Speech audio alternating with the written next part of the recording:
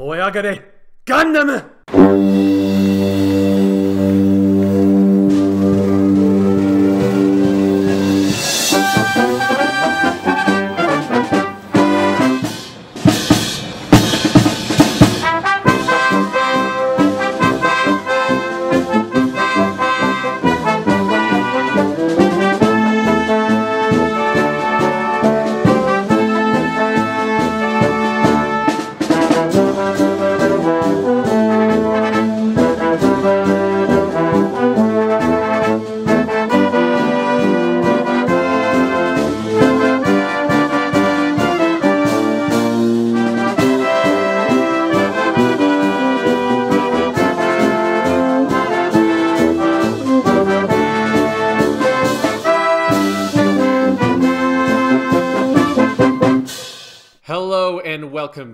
Weekly Suit Gundam podcast brought to you by the folks at the Weekly Stuff podcast. I am your host, Sean Chapman, And I'm Jonathan Lack.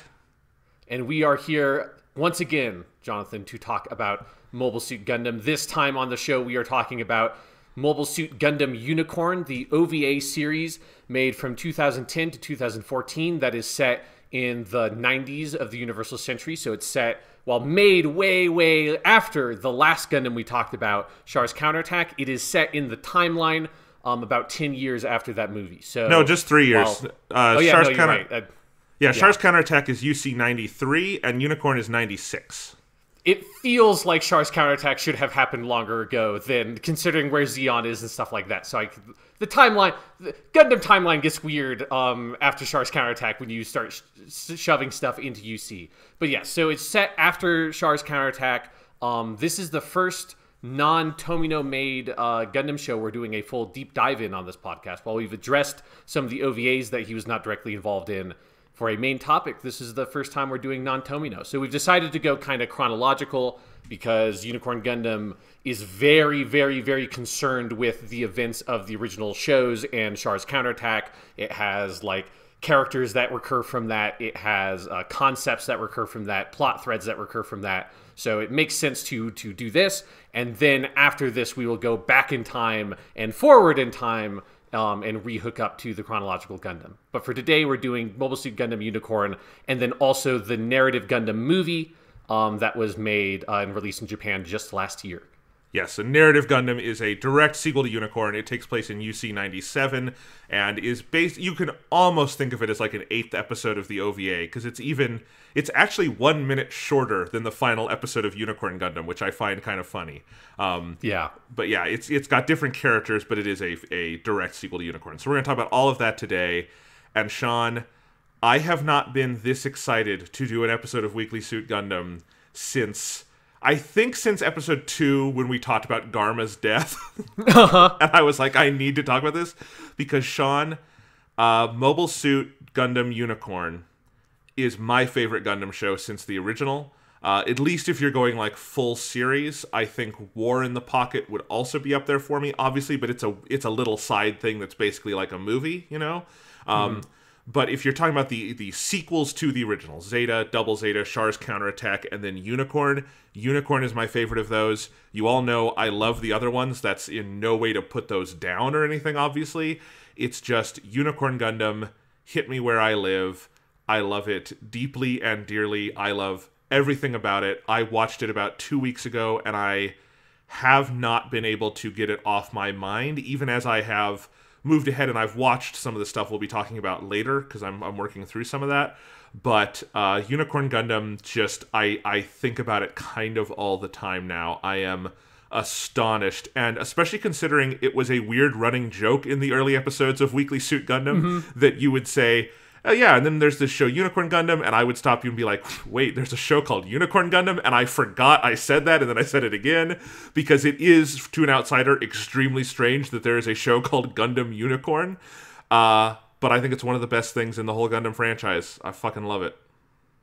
Yeah, this will be an interesting podcast to do because I because while I really like Unicorn Gundam a lot, I don't think I like it as much as as you do quite. And and while I'll get into why because I think there's there's a couple of reasons why I don't have quite the powerful response to it. Um, but it is really phenomenally done. It's it is a thing that like should not work at all if you look at the stuff it does like it has a clone of Char in it that is an idea that should not work in the slightest and they fucking 100% nail it like the entire plot of the show is basically like a treasure hunt for a MacGuffin um, Yes. which is for Gundam, I think a very awkward fit in terms of a plot structure that normally I would think that's not a kind of plot structure that should work in Gundam, particularly for like if it was one Gundam movie, that would make sense. This this is like uh basically the length of a full TV show, more or less, in uh, split into seven parts, into seven movie length OVAs. Um, and so with that, I would think normally the whole Laplace's box concept that probably shouldn't work. Um, and so like those ideas, you you think that Unicorn Gundam would, if not be a failure, be like a much like more kind of safe, duller Gundam project than what it ends up being, which is a really remarkable, really smart, um, sharp continuation of the stuff that um, the original sort of you know three shows and culminating movie Char's Counterattack, um, the themes and ideas that those shows bring up. Unicorn Gundam is a really interesting, well well thought out follow up to everything that came before it in that sense. Absolutely. And I think what I respond to so strongly is that element of it that is a sequel. It is a direct sequel to the original saga made 30 years later and by different people largely.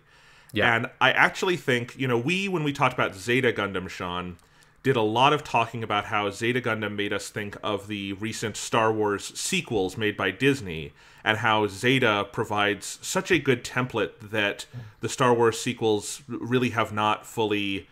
Like, it, it, it's a better version of what they've been trying to do, you know? Yeah. And I actually think Unicorn Gundam is the even better comparison because it is the one made 30 years later by a different group of people that is in such active conversation. Like I was uh, I've, I wrote a lot of notes on this and one thing I wrote Sean is that it kind of it's such a metatextual journey that Unicorn Gundam goes on and it feels like it's not just a reaction to the major themes of Tomino's original saga, but almost a narrative essay on that saga. That's kind of what it feels like to me. And that is such a smart idea for a sequel. I think because Unicorn Gundam, we should mention, was originally a series of light novels, and so it was written in novel form and then adapted into TV, um, basically into movies there's there's a certain boldness and a weirdness to what it tries, and you summarized that for a little uh, us for that uh, for us a little bit just a little bit ago, Sean, when you're saying like it does a clone of Char and it does what I've thought of as like the big Arthurian quest, where Yeah. like there's a mystery of Laplace's box, and the Unicorn Gundam is sort of like Excalibur, and Banagher Lynx has to prove his worth by moving between factions and and proving he is worthy and all this stuff. It's very Arthurian, mythical, and it feels like something I don't think you would ever write for TV if you were sitting down to write a Gundam TV show, but because it came out of a series of novels, it's got this very and it's got a very novelistic depth and pace to it, I think. And it is just so vastly different while also being such an interesting complement and reaction to all that other stuff. And then this is also, I think, going to be a big crux of our discussion today, Sean, is how it tackles new type stuff. Mm-hmm. Because I like all the new type stuff in Gundam I've seen so far, but I think you and I had both agreed the best new type stuff was the last five episodes of the original Gundam, and particularly the episode A Cosmic Glow, Yeah. which is where Lalah dies and Amuro first sees the tears of time, we could say. And I think Unicorn Gundam takes pretty much all of its cues for the new type stuff from original Gundam. It feels way more in line with a cosmic glow than it does any of like the cyber new type stuff or some of the other things they do in Zeta and Double Zeta, which I also really like. But there's something about how they push it to the max and they go to some of those same experimental 2001 esque places with it. And it feels like a really beautiful celebration of critique of commentary on everything Tomino and company did in the original saga. And it's just, even if I might like it more than you, I think you and I would both agree, it's utterly essential viewing if you have watched the original Gundam saga, right? Oh yeah, no, it is not. It is not one of those Gundam shows that is like, ah, you can kind of skip it if you don't want to. Yeah, it is. If you have enjoyed Gundam, you should watch Unicorn Gundam. It is fan fucking tastic. And it's it's weird because it is a show with a high buy-in. I think you have to have seen most of Gundam to get it. Like you have to have seen the original three shows. Don't skip Double Zeta. We've said that many times. You definitely have to have seen Char's Counterattack. So altogether, that's about 150 episodes of TV plus a movie. You probably should have seen the three Gundam compilation movies from the original Gundam, which we'll get to for very specific reasons later. Yeah. So we're talking 150 episodes plus four movies, I think, to really get Unicorn Gundam. And so on the one hand, like there's a really that's probably the heaviest buy-in for any single Gundam show to watch, right? Because like past this point, with a lot of what we're gonna be talking about, Sean, like I know Victory Gundam is not that tied in to everything. No, else. you can watch Victory Gundam on its own without knowing anything else about Gundam, and you will. There's there's nothing in that show that you will not really get. There's like re- some new type reference stuff would be helpful, um, but it's you know I mean you've seen Gundam F ninety one. Do you have to have seen anything Gundam Yeah. to like understand what's happening in F ninety one?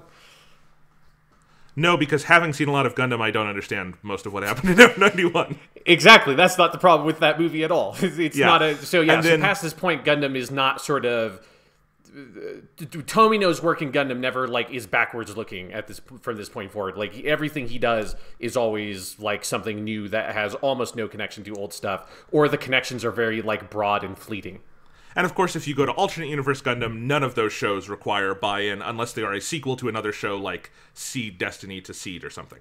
But Yeah. like for Unicorn Gundam, you have to have seen a lot. And that's kind of the downside to get to it, but I feel like it is the pot of gold at the end of the long Gundam rainbow in that if you get there, there are very, very, very few stories or TV shows I can think of, Sean, that are doing as much active like payoff and look back at something you have watched and absorbed and loved as much as Unicorn Gundam, because it is actively like doing a lot of paying off and recontextualizing and commentary on all of this TV you've watched 150 episodes, all this crazy stuff. And I think that makes it also just kind of a beautiful, unique thing in its own right. Um, so yeah, I, I am so excited to talk about it. I also know when we get to the movie narrative Gundam, I liked that more than you did on that one too. Um, not obviously as important as the main Unicorn Gundam show, but I'm excited to talk about all of it. I fucking love this show.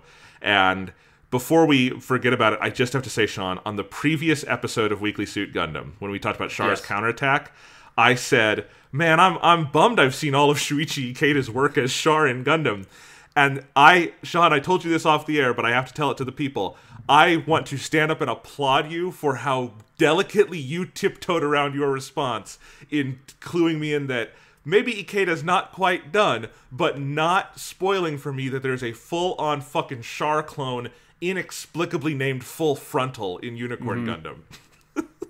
Yeah, it was because because when you said that, I immediately was like reflexively went to correct you and realized that oh wait shit, he's like literally about to watch Unicorn Gundam. I cannot say that Shuichi Ikeda is one of the main characters in Unicorn Gundam because that would tip too much. Because it is one of like the great surprises of watching that. Because I had no idea that like I had heard that there was a character named Full Frontal, but I didn't know anything about him. Yeah, I was me just too. like that's a great name. Um, I am very excited to see who Full Frontal is, and I I hope that he's just naked the entire time. Unfortunately, he's not naked the entire time, but yes, he is a Char clone entirely voiced by Shuichi Ikeda. Um, so I'm glad that I didn't accidentally spoil that for you because that would have been that would have been sad. It's a it's a very fun surprise um, when that character comes on screen for the first time. Yeah, the, the second episode is called The Red Comet. I think the English title is different, but in Japanese it's just Akai Suisei, and you literally meet a dude who is just. He's got a different hairstyle, but a very similar hairstyle, and he looks like Char, maybe 20 years younger from Char's counterattack. Not 20, maybe like at the at the age of like original Gundam. And and then he starts talking, and it's just Shuichi Ikeda, and it is such a glorious surprise. And man, God bless Shuichi Ikeda for always over the last 40 years be in game to not just come back for like little cameos but like if they need him to just do a full-throated reprise or like tweaking of Char he will come back and he will hit it out of the fucking park as evidenced most recently by the origin series. You know Yeah. he is so good at it especially because like it's not a role that you know he's doing constantly. He's not in every gundam thing. It's not like Masako Nozawa in dragon ball um, but he's always up to come back and just do phenomenal phenomenal work so good for shuichi ikeda Absolutely. but we'll get So- to that Yeah, before we, we dive all the way into Unicorn Gundam, I do have one. I want to make a, a small report um, because I know I, I addressed it briefly, I think, on the last episode when I was about halfway through Space Runaway Ideon, which is the 1980 Tomino directed anime. It's the anime that he directed immediately after uh, Mobile Suit Gundam, because back in those days, and like anime production was an absolute factory, and you had those teams were producing literally like if they you know were popular and fully successful 50 episode runs of anime every single year which if you count how many weeks there are in a year that's just you are constantly putting out a new show um, so yeah, so I have now finished Space Runaway Ideon, and I have watched the the second movie, Space Runaway Ideon, be invoked, which is a very good title.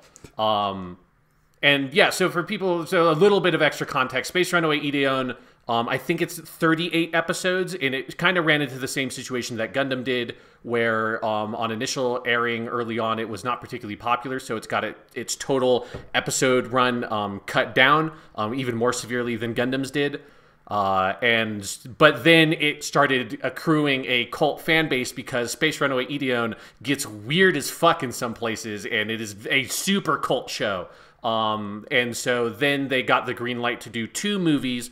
The first movie is basically a compilation movie of the first half of the TV show, and then the second movie is um, basically this is the it's the exact same thing that um, they did with Neon Genesis Evangelion, where the second movie is sort of an expanded version of the ending that already existed for the TV show, and sort of a kind of retconning of that ending, and so it's sort of you can kind of look at the endings as being the same thing just one is a bigger version but then they contradict each other in weird places so it's it's very like neon genesis evangelion very much followed that model um, also the end of evangelion movie takes a lot of stuff from the second Ideon movie which was something I had heard, but I was kind of surprised at how how there's some very specific stuff that that, that end of Eva does that is very much pulled from Be Invoked.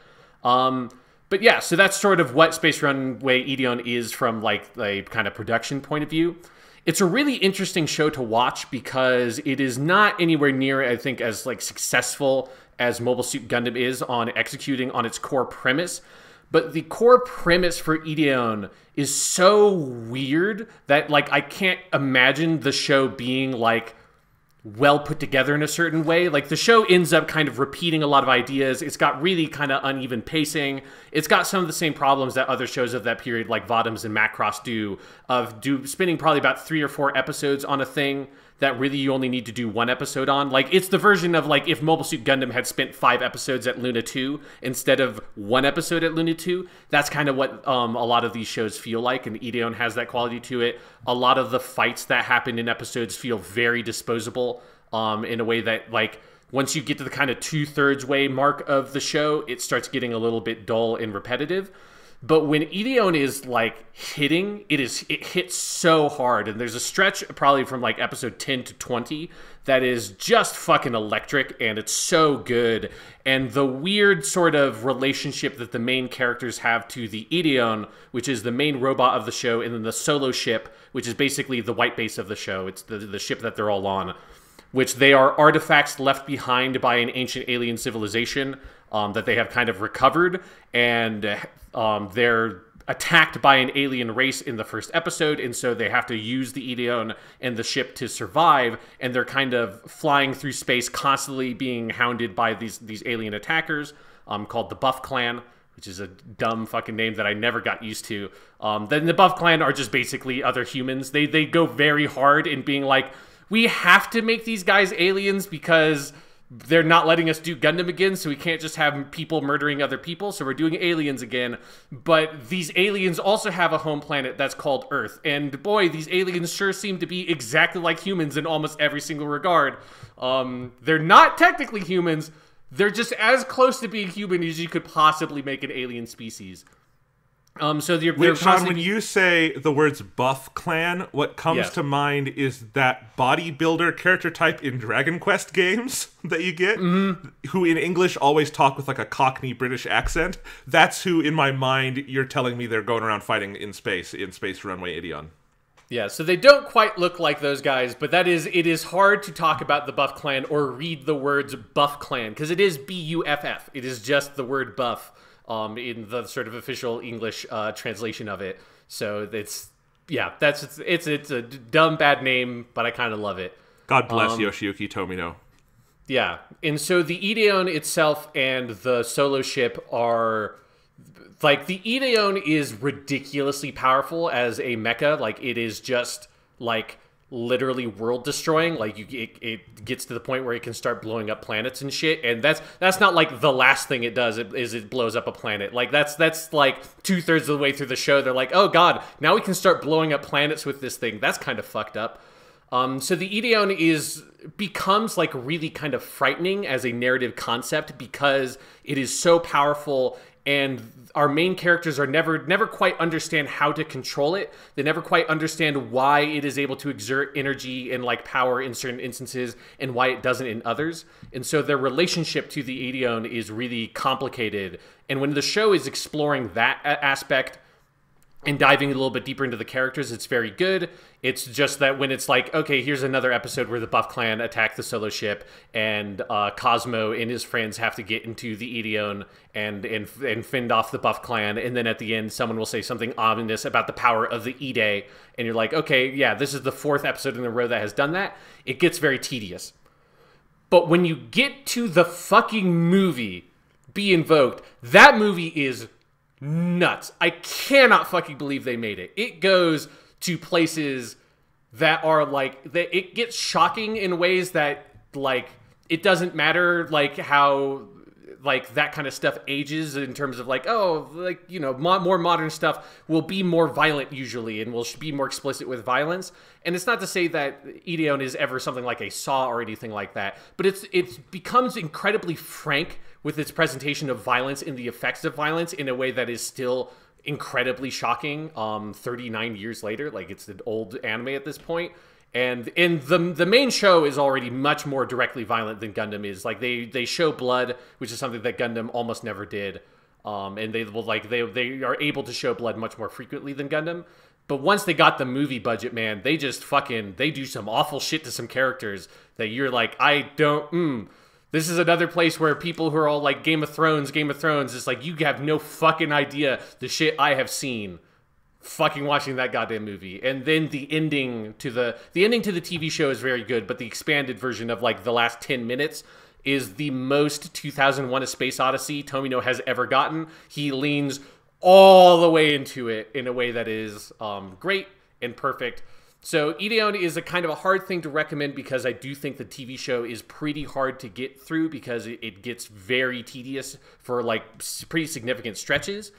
It has a lot of really great stuff, but sometimes it gets tedious. I have not seen the first movie that recaps the first half of the show, so I don't know if that movie is good enough to give you the buy-in on the characters for the payoff of Be Invoked to work or not. But if you're willing to kind of power through a, a show that can get pretty rough and a bit dull in places, the ultimate payoff of that movie for me was totally worth it. And and I I have been kind of what you were saying with Unicorn Gundam. I finished watching Ideon like three weeks ago or something at this point. Um, and I have been thinking about it like every day. Some of the shit that that movie does. Um, so yeah, Ideon is great. It's got a great theme song also, and it's got maybe my new favorite eye catch um, it, upgrading from Gundam, which is the show. Um, Ideon just has a full chorus of people just sing the word Ideon every time that the eye catch comes, and it's very great. Um, they almost did that with Gundam. You can I've I've actually used it on Weekly Suit Gundam before. There is if you look at the complete soundtrack set that like gives you all of the musical cues and all of the like stems and everything. There was an abandoned one that they did not air where it goes Gundamu Gundamu shoo, and I kind of wish they had used that one. But um, yes, that sounds great. Sean, I have two notes on Ideon. Okay. Um, because I've been I looked it up and there is a very handy Blu-ray set you can get on Amazon that's all the episodes and the movies, so that's very easily legally available for everybody. Mm-hmm. And Sean, I'm looking at the back of the box of the Blu-ray set. Does the main character in Ideon have a giant red afro? Yes, Cosmo Yuki, the Amuro of Space Runaway Ideon, does have a giant red afro, and it's there's a couple of times because he obviously he's like wearing a helmet um, when he's piloting the Ideon. Um, and sometimes when get, he gets damaged really badly and like the Ideon's kind of taken a, a, a, pulverizing, his helmet will get cracked a little bit, and sometimes his afro like pokes through the helmet in a way that looks very funny. Um, yeah, Cosmo's a great main character because Um, all the main characters ha- are very slow burns um, in terms of like, unlike Gundam, where I think you get invested in Amuro very, very quickly. Um, Ideon doesn't give you as much time with each individual character, it, it sort of spreads its time more evenly across the whole crew. Um, but once you start getting into Cosmo's stuff and he starts becoming more of an interesting protagonist, he's great, especially because he's always carrying around a big fucking knife. And that's just part of his just character design is he has this giant knife on his hip and he has it for the whole show because that's just what his character is, right? So they're like reusing that animation so he always has to look like that. But he doesn't do anything with that knife until like episode 12. So the whole time I'm like, does he just have a knife on his hip? Why does he always have carrying around this fucking knife? And then once he gets to a certain point, then he starts doing cool shit with the knife. But it takes a very long time with this character. It's like the longest Chekhov's gun or Chekhov's knife thing I've ever seen. It's it's literally like you've watched like two to three hours of this TV show before he does anything with this fucking Bowie knife he's always carrying around. That's awesome. All right. Well, that's Space Runaway Ideon. Do you want to go ahead and talk some Unicorn Gundam, Sean? Yes, so so let's take a break from the weird other world of mecha anime and go back to our our comfy Gundam hole and talk about Mobile Suit Gundam Unicorn. I love it so much. There's so much we could talk about. It is such a jam fucking packed series. I, for myself, Sean, in my notes, I made myself summaries of all seven episodes just so I could try to remember all the crazy shit that happens.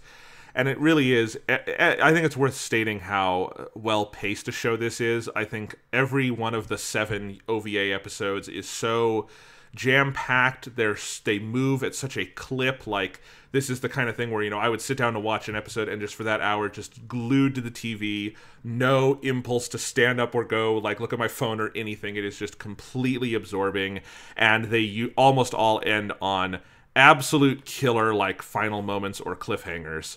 Um, and yeah, and they've also just got cool titles like Day of the Unicorn or At the Bottom of the Gravity Well. So there's a lot we could talk about. Where should we start, Sean? I think probably the first thing we have to establish this is very important. How are we going to pronounce the main character's name? I am going to say it like Ride Shoei does at the end of episode six and seven, and just go Banaji. Okay, so I'm kidding. I'm not going to do that every time. Yes, but you're not going to shout th- it. It's yeah. it's Banaji in my mind because that is how they say it. It is spelled Banagher. It is an Indian name, I think, or it's just a completely made up name. But um, yeah, I don't know. I my instinct is to call him Banaji, but I don't know if that's how we should say it. Yeah, I mean, I I'm not sure if I could do anything other than Banaji, which yeah, like I it it clearly if you look at the spelling, it's supposed to be pronounced Banagher. Um, but let's just go with like Banaji. Let's just stick with the Japanese because he is one of there's a small handful of Gundam protagonists for whom I just cannot I cannot just go with what the natural English pronunciation is because I've heard the name said too many times. It's like and when you say so Garrod like... for Gundam X, I don't know who you're talking about. It's Garrod. Like it's just it's, it's not how you pronounce the spelling, but it's just how they say it. Yeah, no, it's it's. I was I did a little Twitter thread on this when I realized the hero of Gundam F ninety one is named Seabook Arno. Yes. And I was trying to figure out who is the best Gundam protagonist name, obviously just with my frame of reference being all the UC shows. And I think Seabook is up there I think Amuro is up there in part because of how well that name sounds sung, but I think Banaji Lynx is my favorite because of how it sounds when it is said out loud, and especially when it is screamed with righteous indignation and rage by characters like uh, Riddhe and and other people. It is such a good name just to hear vocalized in the Japanese language. I honestly, Sean, for this question, I probably should have flipped over to the dub at some point and listened to how the hell they say it in the English dub mm-hmm. because that would be fascinating. But I haven't. Um, so yes, he is Banaji to me. Yeah, because because the other because yes, his name is very good to to scream out in righteous fury if you're like a Riddhe, um, but it's also kind of like Amuro. They just picked a great name for Shuichi Ikeda to just growl. So yes. whenever he just says Banaji-kun, it's like, yes, fucking, oh my god. He's this... he's got that line in episode seven that in Japanese is something like you and I will go to the end of time itself, Banaji Kun. And it is, I think, one of the best Ikeda line readings in the entire franchise, which is saying something. Yeah, oh, it's so good. So, okay, so we're agreed. We're going with like a rough approximation of the Japanese pronunciation for just Banaji. It's, it's too hard. It's too hard any other way. Yeah, because it's it's something of where because I think I that's I like offhandedly referred to Banaji um, last time and just went with that and realized I don't know if that's if people will know who are even people who have watched Unicorn Gundam if you if you think of the name in English Banaji does not I don't think you would I don't think you'd know who I'd be talking about if you think about the name in English. Yeah, so if like you're watching the dub or something, we're talking about the main character of Unicorn Gundam. Yeah, so that's why that? we just had to we just had to lay the playing field out how are you going to say his name? We're going with Banagher, so that's yes. that's what it is. Should we just start with episode one, which is such a good like debut for this show? Uh, yeah, then yeah. Let's just start from the beginning and kind of go through sort of how it sets itself up, how it how it establishes its yeah. characters, because it is it's a really brilliant opening. And, and honestly, I think probably episode one is my favorite episode of Unicorn Gundam because of just how methodically it sets out all of its pieces i think is so enrapturing um, that yeah when as soon as i watched it again because obviously i watched unicorn gundam when i did my full gundam watch through i did watch it again for this podcast and watching that first episode i'm like fucking goddamn they do such a good job of building every of, of sort of putting you back into the setting establishing the setting again for people who are not super familiar with it or haven't watched gundam stuff in a long time and then just do so many subtle things to kind of set all of our characters in motion that it's a really impressive piece of writing.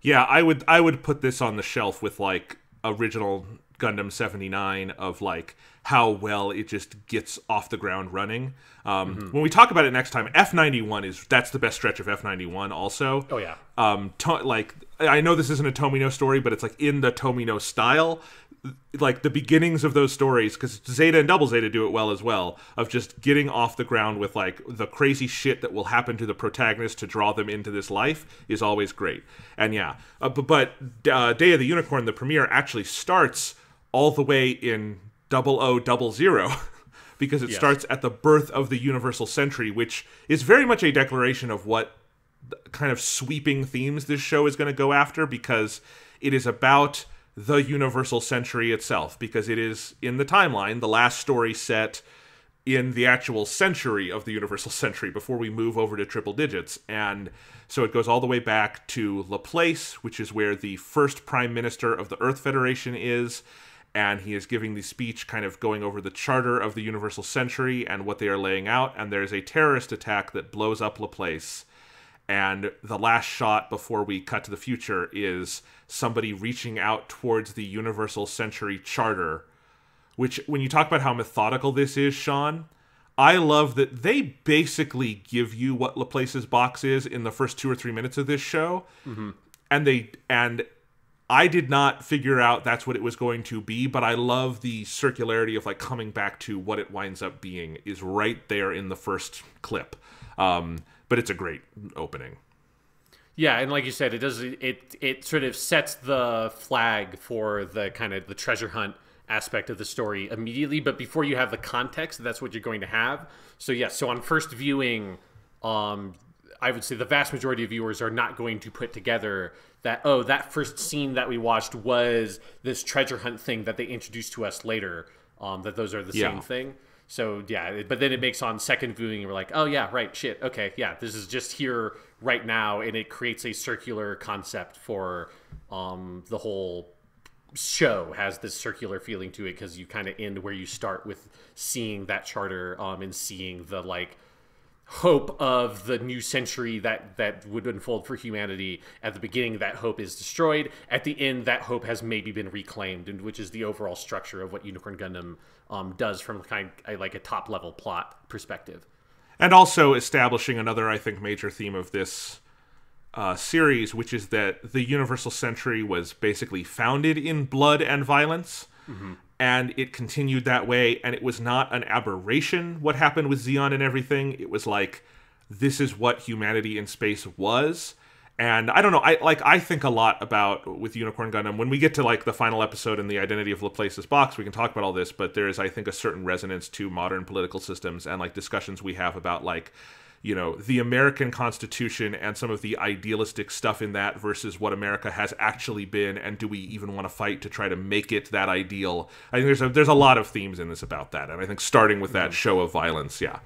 Um, there's a lot going on here, but then yeah, the the majority of this episode is on Side Four's Industrial Seven colony, um, where Captain Zinnerman of Neo Zeon of the Sleeves Remnant, which is a great name, and his ship, the Garencieres. How are we supposed to say that one, Sean? Oh, I don't remember. It's been like two weeks since I watched it, so I didn't even remember what his um the Gur uh Garincie, I think probably. Yeah. I don't think the I think it's supposed to be vaguely Frenchy. Yeah, I actually wish I just had like the kana in front of me because they don't. That's not what they say in Japanese. I'm on It's- the Gundam wiki, so I'm going through pages to try to get to where the ship is and see if I can see what the what it, how it's written in Japanese. So I'll I will fill us Yes. in when I get there. But we have lots of time for that. But yes, he is going there to receive the key to Laplace's box from Cardeas Vist, the patriarch of the Vist family. There's a girl named Audrey Burne, who I also want to ask the question: How soon are you supposed to realize that's Minerva? Um, who is trying to convince Vist not to hand over whatever this mysterious key is? Londo Bell arrives and attacks. Londo Bell being the group we met in Char's counterattack. They're headed by. Um, Bright, Captain Bright, uh, and there's a big fight in the colony. We meet Banagher because he is at a school there, at an engineering school. He is trying to rescue Audrey. They kind of have this very, very like Miyazaki Castle in the Sky esque meeting where she falls out of the sky and he helps her. And in the end, he's entrusted with the Unicorn Gundam, and crazy fucking shit happens. So that's the top level, like what happens in this episode, Sean. So you are right. There's a ton to break down here, but yeah, let's break it, go into just how well it, like you said, sets up all of its moving pieces. Yeah, because the main thing is it does is that it, it like does a very good job of focusing a lot around around Banagher's experiences of these events, and his character goes through a really like interesting um, and critical transformation over the course of the episode, where he is one of my favorite Gundam protagonists because he's one of the few Gundam protagonists I think recaptures a little bit of um, that kind of Amuro magic from the first episode of Mobile Suit Gundam. Of he he feels so kind of like meek and quiet and awkward in in a way that like in a way that feels like if new types really did exist um, and they were kids, like that is what they would be like. They would be this like he's this this very very sweet sensitive kid um, that is very kind of perceptive, but part of his like perceptiveness feels like he kind of like closes himself off from the people around him and the body language they have for him is so strong of having um he has his Haro that he's constantly kind of like cuddling like it's a stuffed animal or something that little touch um that he's doing that for almost the entire first episode um, and whenever like he starts to kind of perceive something more negative happening, he starts to kind of grab it um, tighter.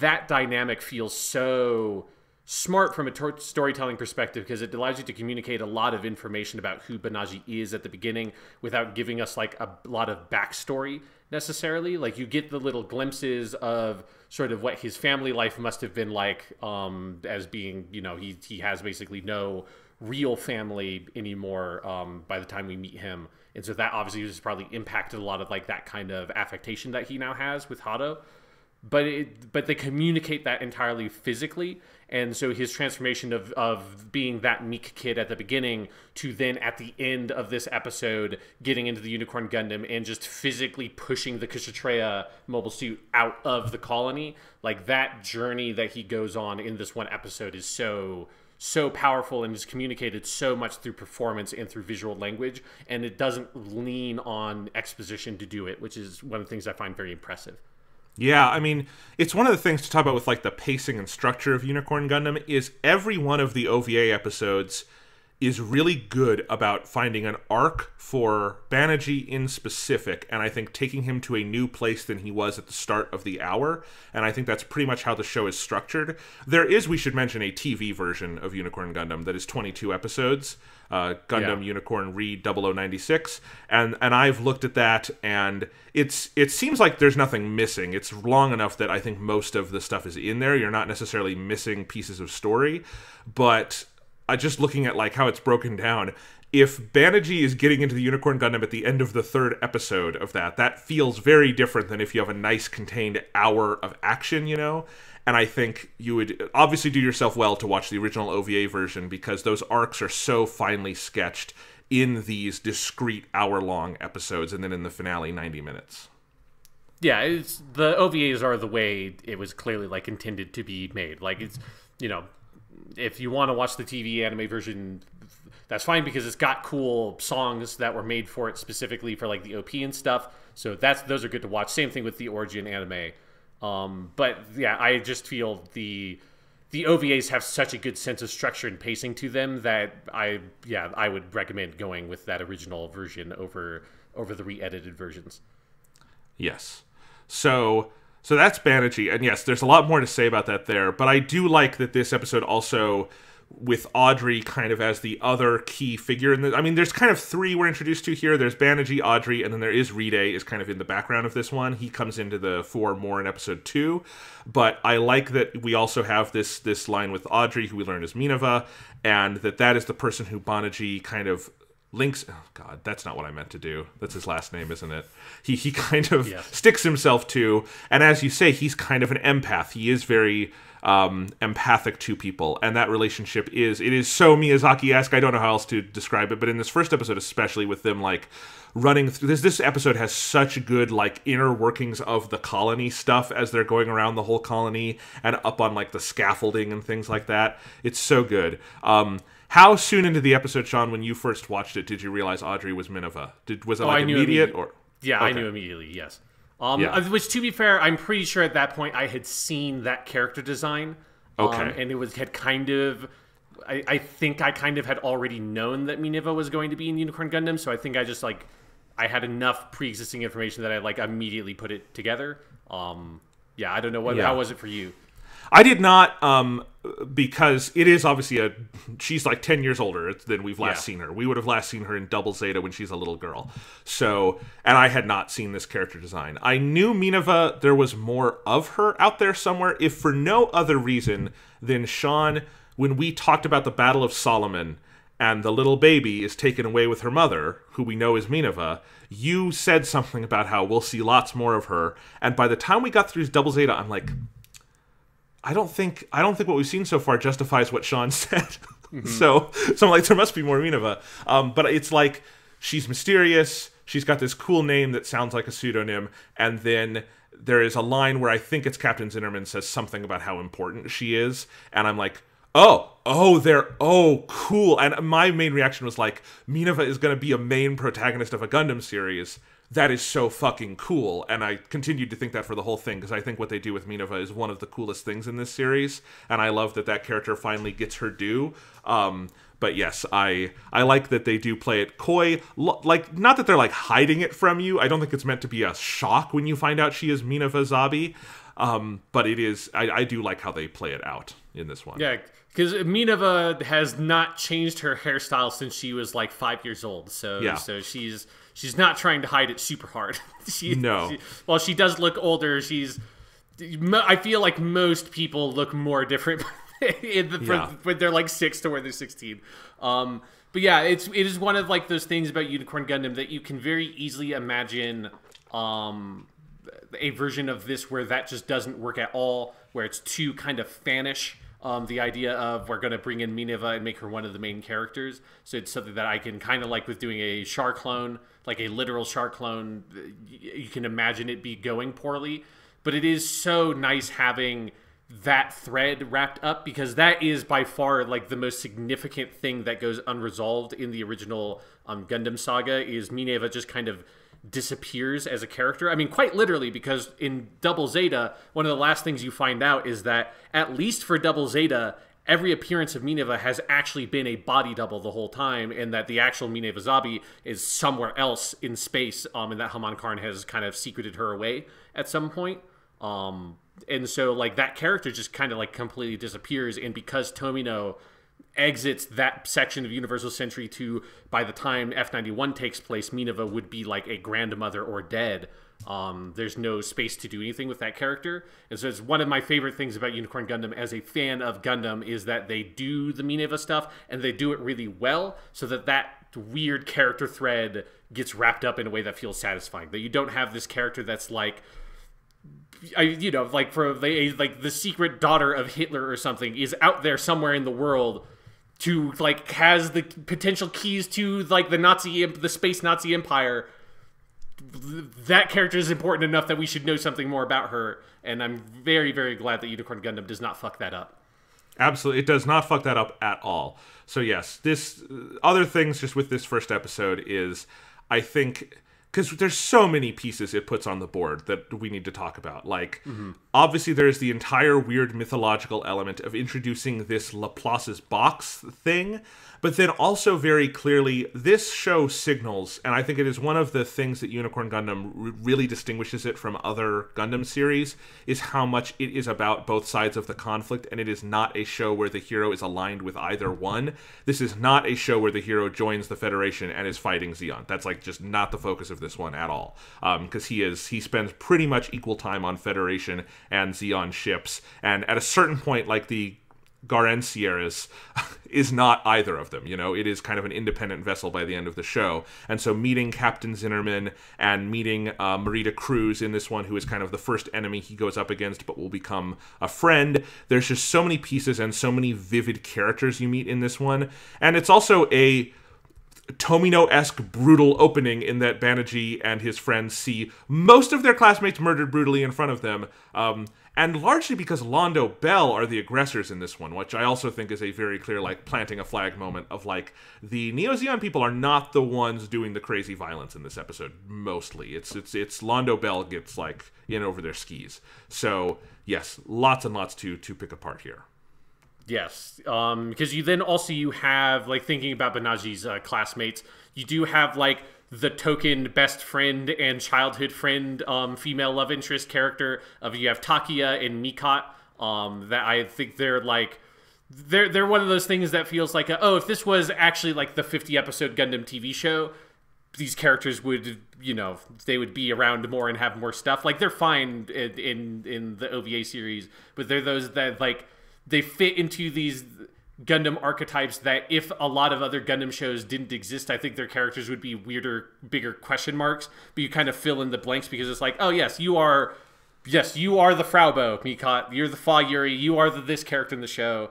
Like I know you. I have seen you. I we, yes. we're we're good. You don't we don't need to dive into these guys. Yeah, they mostly disappear by the final episode because it the the show really focuses itself on the main three of Banagher, Audrey, and Riddhe, and then on the side you have like Full Frontal and Captain Zinnerman and Marida, and those kind of fill out the side. But yes, Micott and the other one do not show up a ton past the first couple episodes.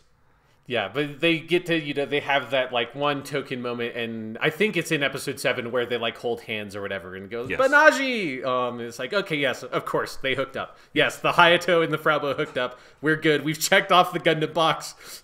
Thank you, Gundam. I'm glad they're there. I mean, there is because yeah. they are the ones that Riddhe rescues in this one, and that is how he gets like in with with everybody. I mean, he's because mm-hmm. I forget is he, is he on the Londo Bell crew in this one, or is he just at Industrial Seven? He's on the Londo Bell crew. Yeah. Okay. Yeah, because he rescues them, and then you do have Micott is very torn up about the mass extinction of her classmates she watched. Um, so that kind of helps you bring that home. But I guess, Sean, the other thing to talk about here is let's just talk about the concept of Laplace's box. I mean, we will get to okay. what it is, but for the moment, for the first six hours of Unicorn Gundam, you do not know what is in the box, and so uh, Gundam certainly does not do anything like this in anything I've seen so far. Uh, according to you, it really never does this. No, yeah, this is not like there's there's a couple of plot devices that are vaguely like this, but there's nothing that's like the whole show is this. There's like, oh, here's the two episode arc that deals with this like weird mysterious object or whatever that's like a kind of a scavenger hunt thing. Gundam yeah. has done that. Gundam has never done Laplace's box ever. Yeah. which I think again, as you said earlier on, this could be a fatal flaw if done poorly, because this kind of stuff is done poorly all the time in modern narrative fiction. But it is, I think, a pretty fascinating MacGuffin that gives it, like I said, this very Arthurian kind of quest to it. I think you could also go with like the Treasure Island comparison, but it is this hidden thing that is imbued with great power. Everyone is afraid of it, everyone wants it, and the goal is to find it. And they literally are going on some kind of scavenger hunt that they are sent through the Laplace program to, which I love that it is the La Plus program for the La Place box. Phenomenal. Um, This show, this show has the spirit of Tomino doing the names in it, even if he didn't work on it, because these are such Yeah. like Tomino names. Which because by the way, like those would be they're the exact same in Japanese. So it's the, Yes. it's like at some point I don't even know if it counts as a pun because they're spelled the same in Japanese. It's so good. But anyway, that you're going through all that, and I think it provides such a good spine for the show. I also think it's something that this being an OVA series, I think if it were a 50 episode year long run, the Laplace box thing would not work. But I think it mm-hmm. being seven movies basically, it's a really good thing to carry you through because, like with most good mystery boxes, if a mystery box is done well, it's not really about the mystery box, it's about the journey along the way. And what the mystery box is sending them through is basically the history of universal century violence, and it basically provides a spine for our main character, Banagher, to go through the history of Gundam and reckon with the sins and failures of the world he was born into, and that's what everyone is thinking about. And while Unicorn Gundam has some of the most spectacular action in the whole series, it's a much more philosophically dense series than the other Gundam UC shows, mm-hmm. and that's ultimately what it's about. And then I think the ultimate revelation with Laplace's box is very fulfilling and like is exactly what it needs to be. But I think they pitch it just right throughout these seven episodes to be this air of like high adventure mystery, which really propels the show along, but also provide a really clear spine for all of the philosophical discussions and kind of thematic breakdowns the show is so interested in throughout. Yeah, and I think one thing that helps make it work is that there are long stretches where it's not like an active entity in the show, right? They usually it's kind of for the whole middle kind of section from episodes like three, four, um, and five, and kind of a little bit of six. Like they are the Laplace's box is how you get to this spot. So it's like okay, we have to go here, but then once you get there, it there's like the Laplace's box thing is no longer a factor. It's like okay, we've gotten to this location, and oh shit, now like the sleeves remnants here are going nuts. We'd have to do something about it. Like okay, we got here. Oh no oh, shit, full frontal showed up, and so it's like the plots of individual episodes are not really about the treasure hunt. They're about like the treasure hunt pushes puts you in this specific place now now like the story of this episode is going to happen at that place but it's not really about the box and that's one of the things i think makes it work is that like the box can be a, like a little motivator to move the characters around um, to kind of put them into the place to have conflicts but the box itself is not the source of every single conflict in the show which is often what like the poorly done version would be where it just is like oh, everything is driven by this weird, mysterious object we have no real context for, and where we only care about it because we're told to care about it. That's the kind of thing that doesn't work for me. When it is just like, a, okay, here's a little nudge we have, but you can kind of easily imagine a lot of these stories happening without that nudge even needing to exist, and like there would just be some other minor justification for why this character has gone to this location, and the, the plot would happen the same way. And that's one of the things I think that helps make it work really well. Absolutely. So, Unicorn Gundam Episode 1 has one of the most rip shit amazing fucking endings of any episode of television. In that, like, Industrial 7 is burning, everything has gone to shit. Banagher is like lost in the bowels of this colony and finds the Unicorn Gundam. And Cardeas Vist, who is this he's only in one episode, but that character sure makes an impact because he lingers obviously through the whole series. Um, finds Banagher, puts him in the Unicorn Gundam. Like Banagher intuits basically through new type stuff that this man is his actual father, and Cardeas Vist like literally like like anoints him with his blood, which is such an amazing mm-hmm. image. And and entrusts the Unicorn Gundam as like this hope for the future of humanity to him. You realize Oh no, it is an actual giant white mobile suit with suit with a big fucking horn. That's amazing. That's what I wanted. And then he goes out to fight Marida Cruz, who also has an amazing mobile suit. And it's like, oh no, it's not just a mobile suit with a big horn. It expands out with this crazy red energy and gets two horns. And the episode ends with basically the unicorn transforming, doing a pose, and running into battle, cut to credits and theme song. Sean, I stood up and applauded. I was like so the I just and I just I think my tw- I tweeted about this because it's true. I just said the word like fuck at the end of that episode because it is such a a hammer drop of an ending. It sounds like you probably think the same way given what you were saying about this episode.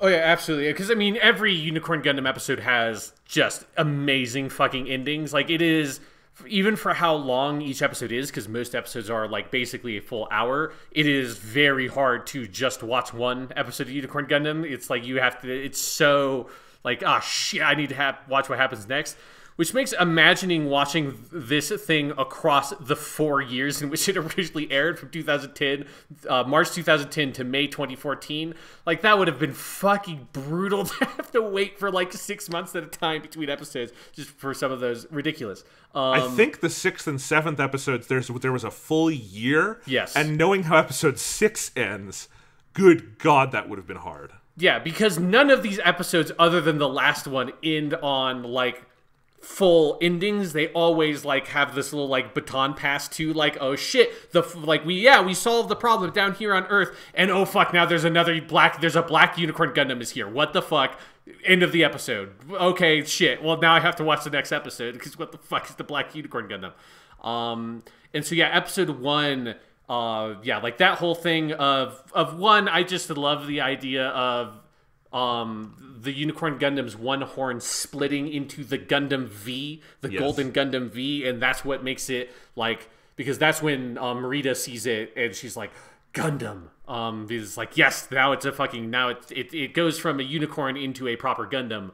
Um, but then even more than that, the stuff a little bit before it, where Banagher gets into the Unicorn Gundam, like his whole world has been destroyed around him um because also his like emotional relationship with audrey has like goes is very up and down of like he's like oh i'm really attached to you. And then she's like get the fuck out of my face you weird boy. Because she does she airbuds him like get out of here boy get out because she loves him so much you have to go.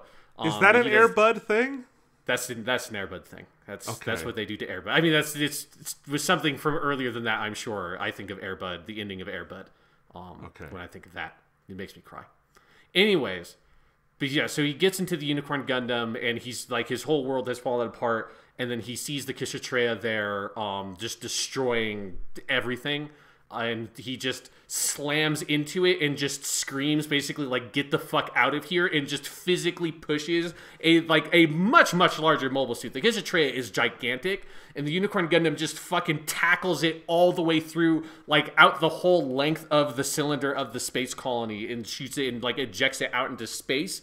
And Marida is in you like you have those cut-ins to Marida in the cockpit and the fucking airbags popping off and her like shaking around unable to like control her mobile suit because the Unicorn Gundam, while it is much smaller, they communicate so much of the power that the mobile suit has in that moment. And there's just a really gratifying sense of sort of power in that moment for Banagher. Um, where you know he has been so restrained for the whole story, and then his like he gets into the mobile suit, and you know he's not like trying to kill anybody. The thing he thinks to do is just basically to shove the other mobile suit really hard. Just like get the fuck out of here, man, and just push her out. Um, I think that like that is such a such a great moment of Banagher becoming the Gundam protagonist, right? Like he goes from being like the boy um, that seems that there's something off about him to now he's the Gundam protagonist who's the pilot of this mobile suit and must sort of navigate all the themes and sort of pitfalls that all our Gundam protagonists, all our Gundam boys must go through. Which the show, we should say, is very aware of. Like, this is. Like, Yeah. Zeta and Double Zeta also do some of this in terms of, I think, very consciously tweaking elements of the original show. But Unicorn has this different, like, 30 year out perspective of what were the major signposts of Tomino era Gundam, and, like, how can we tweak and use those and, like, you know Banagher is a per- like literally there's going to be when Captain Bright enters the scene um and and his big episode is episode well he's in most of the show but in episode 5 he's got a lot of stuff. He's very conscious of this and basically gives Banagher a speech about being a Gundam boy. He doesn't go like that. He doesn't say you are now the Gundam boy Gundam no I have- shonen Yeah, I have known many Gundam boys, and trust me, you are one of them. Yes, that would be great if Bright said that. He doesn't, but but that is very conscious in terms of those elements, and we're al- also already seeing in this one how they're playing with that with Marida Cruz. Um, but yes, it is such a great ending, and I think for me, Sean, I just had no idea what to expect of Unicorn Gundam because. I just realized, like, because I had done research on other Gundam shows before I'd watched them, and I, I knew, like, Double Zeta has a dude named Judau, and he's to fight, you know, the Neo Zeon Empire, and Judau's kind of a junker, and it's a little more of a silly series at the beginning. But with Unicorn, for like, I just had never read anything about it. I did not know. I didn't even. I think you had told me the main Gundam has a big, cool horn. That's about all I knew was that this this series had a silly fucking name and a Gundam with a big, cool horn.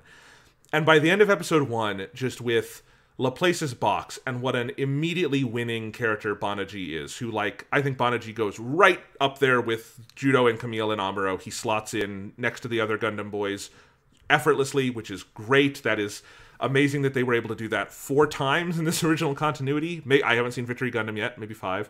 Um, and it's and it just all it works out so perfectly. And you get to the end of that first episode, and I was just so fucking hooked. And I basically haven't stopped thinking about Unicorn Gundam since.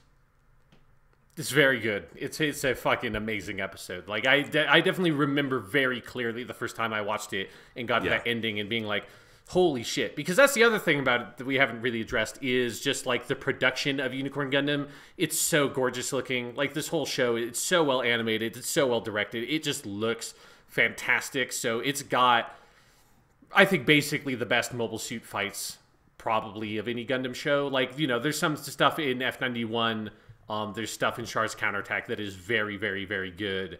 But Unicorn Gundam, if you're just if you're going for like the spectacle above all else, especially Unicorn Gundam has some crazy shit that happens in it that is very, very well animated. So just from a like spectacle point of view, it is always really, really enthralling to watch. Oh, absolutely. This show is stylistically just out of this world. I mean, because let's be clear, it's not just the animation and the choreography, it is also the music. And that is clear from episode one onwards. It's Hiroyuki Sawana, right? What's his name? Uh, yeah, Hiroyuki Sawano. Sawano. Okay. And the score for this show, because the main Unicorn Gundam theme you hear in that closing scene of the first episode is so amazing. It is this it's basically the closest any Gundam show has, I would say, to like a big, like almost John Williams score for Gundam. Hmm. Like it is a big orchestral sweeping movie score for this seven episode thing. And it is just constantly astounding. I think it's the best music in any Gundam thing. I don't know if there, there was there are others you would point to, Sean, but it's definitely the the one that has hit me hardest, and it is just used so well throughout. I think when you just look at like the production of Unicorn Gundam, that it is seven movies made over five full calendar years 2010, 11, 12, 13, 14, released one at a time.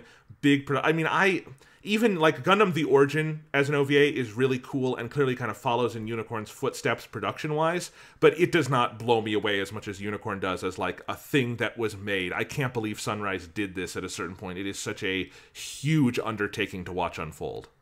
Yeah, because yes, because the music is fantastic. Hideyuki Sawano is one of my favorite anime composers. Like everything he's on, I, I just think is fantastic because he's definitely in that kind of um, John Williams esque style of he definitely likes to sort of latch into a couple of like very like strong key themes and motifs and reuse those and kind of play with them throughout the show. Um, and yeah, so that the end of episode one is when you first get that kind of like full bodied Unicorn Gundam theme, which is the main theme that goes across the whole show and is used in a bunch of different contexts. But the really triumphant music um, at the end of episode one is so good. Just like anytime the fucking Unicorn Gundam transforms and, that music kicks in, it is it's a good time. It's a good. You're just you're just having fun. You're always having fun um, when that theme plays. It's so good. All right. Uh, I don't know if we're going to go through every episode in as much depth, just because episode one kind of there's so much to establish. But episode two is called The Red Comet. In English, they called it The Second Coming of Char. I like the title just Akai Suisei because it is so. Because it also leaves some of that ambiguity of like, there's a red comet, who the hell is it? Um, because this episode is mostly about Full Frontal. It is the Gundam beats Marida, it beats the Kshatriya, um, and then the Nahel Argama comes, it picks up Banagher, it picks up the UC Gundam. We meet the character Daguza Mackle, which is an amazing name. He is an ECOAS officer. ECOAS is like a new group in the Federation in this series. And Daguza will become very important in episode three. I really love that character. He is mm. the. Basically, every episode is Banagher with a different father figure. We'll talk about that thematically. But then you have the surprise attack where Zeon and Full Frontal come. And most of the episode is a standoff where they where full frontal has like the Nahel Argama has no strength against them. They are way outnumbered. Full frontal demands the Argama hand over the Gundam, hand over anything about Laplace's box. And so Audrey, and this is really Audrey kind of owns this episode alongside Full Frontal because she reveals she is Mineva She's like, you can use me as a hostage in negotiation, and Full Frontal refuses to negotiate on that point. Banagher goes out to fight against the Sinanju, which is Full Frontal's mobile suit. Um, he gets captured, and then the last couple, like the last 20 minutes, are all on the asteroid base of Palau, as Banagher kind of gets to know Marida, has conversations with Full Frontal, and there's a plan to buy uh, ECOAS and Daguza to go rescue Banagher. But I think that second episode is such a nice. It's it's very clear change of pace. It's like a high tension episode in like a hostage negotiation situation. It's a lot of getting to know this crazy Char clone dude that is out there and seeing the different factions at play. Um, but there's a lot of beautiful stuff in this one too. Yeah, and, and this is definitely like this is the full frontal episode to me. Like this is the one where like he comes in. This is where like because we were just talking about the animation. The animation is always great.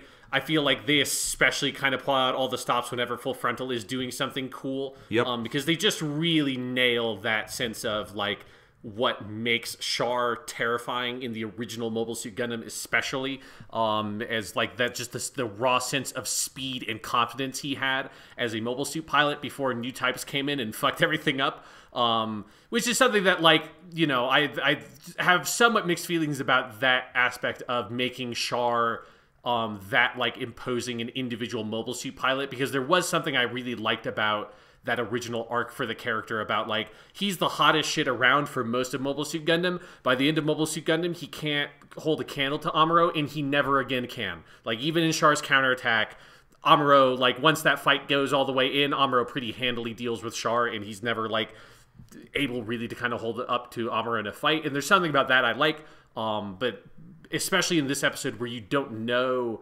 exactly yet what his what full frontal's relationship is to Char whether Char survived whether he's a clone whether he's just some weird Char fanboy who's who's very good at doing an impression or like whatever his weird deal is um, they do do a very good job of sort of this like getting that feel of this is this is a man who like you just cannot stand against. He's he's the guy that in episode two of Mobile Suit Gundam they say there's a Zaku coming at us three times the normal speed, and then the captain um, who dies, you know, later just says, "That's Char." It's Char, the man who sunk seven battleships at the Battle of Loum. Like we have to run away. It gets that feeling of the character back. Um, because, yeah, I think, and this was my reading of Full Frontal right from the beginning. He is not Char. Yeah, he was designed to be your ideal like id version of Char. He was designed to be the red comet of Loum, the propaganda tool of the Zeon government. Like again, like I did not know exactly where they were going with it. Is he Char reincarnated? Is it a clone? It's kind of all of the above in the end. But like he is essentially, as we learn in episode seven, a, and uh, uh, Narrative Gundam actually follows up on this and it fills in some of the holes for us. But he is basically a cyber new type who was engineered to get as close to Char as they could. And then there's this whole thing with like the psycho frame from the Axis Shock, which is what they're calling it in Unicorn Gundam, which I like that it's got kind of a name, what happened in Char's counterattack. Um, and but in any case, what you see, I think, in episode two and then in his other appearances is this isn't exactly Char as we remember him. I think it's Char as we kind of want to remember him. And there's a whole meta commentary going on with here, especially I think when you get into all of Full Frontal's monologues about how he is an empty vessel that takes on the desires of his people, basically. And I think there is this whole sort of thing about like Char went on such this interesting evolutionary journey, and you and I, for instance, Sean, have praised that so much. But as much as you can say, yeah, Char was kind of a kid who never grew up, and he was a very broken man, and all of, the, and he never really succeeded in his goals.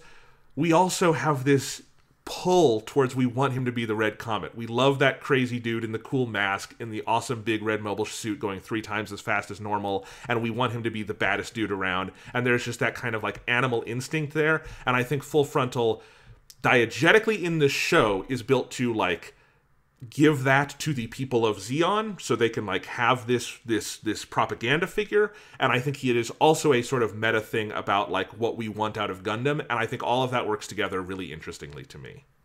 Yeah, because cuz he also exists in a like long line of like not literal Char clones, but what the fan community calls Char clones, which are which is the Char archetype as he exists in other Gundam shows that don't exist in the Universal Century timeline. So you have like the the biggest one is the dude from Gundam Wing who just looks like Char. He is so and his and his role in the narrative is very Char esque. Um, he's the guy who pilots the Tallgeese. So I have a little tiny version of him in my model Tallgeese right now that's sitting over there.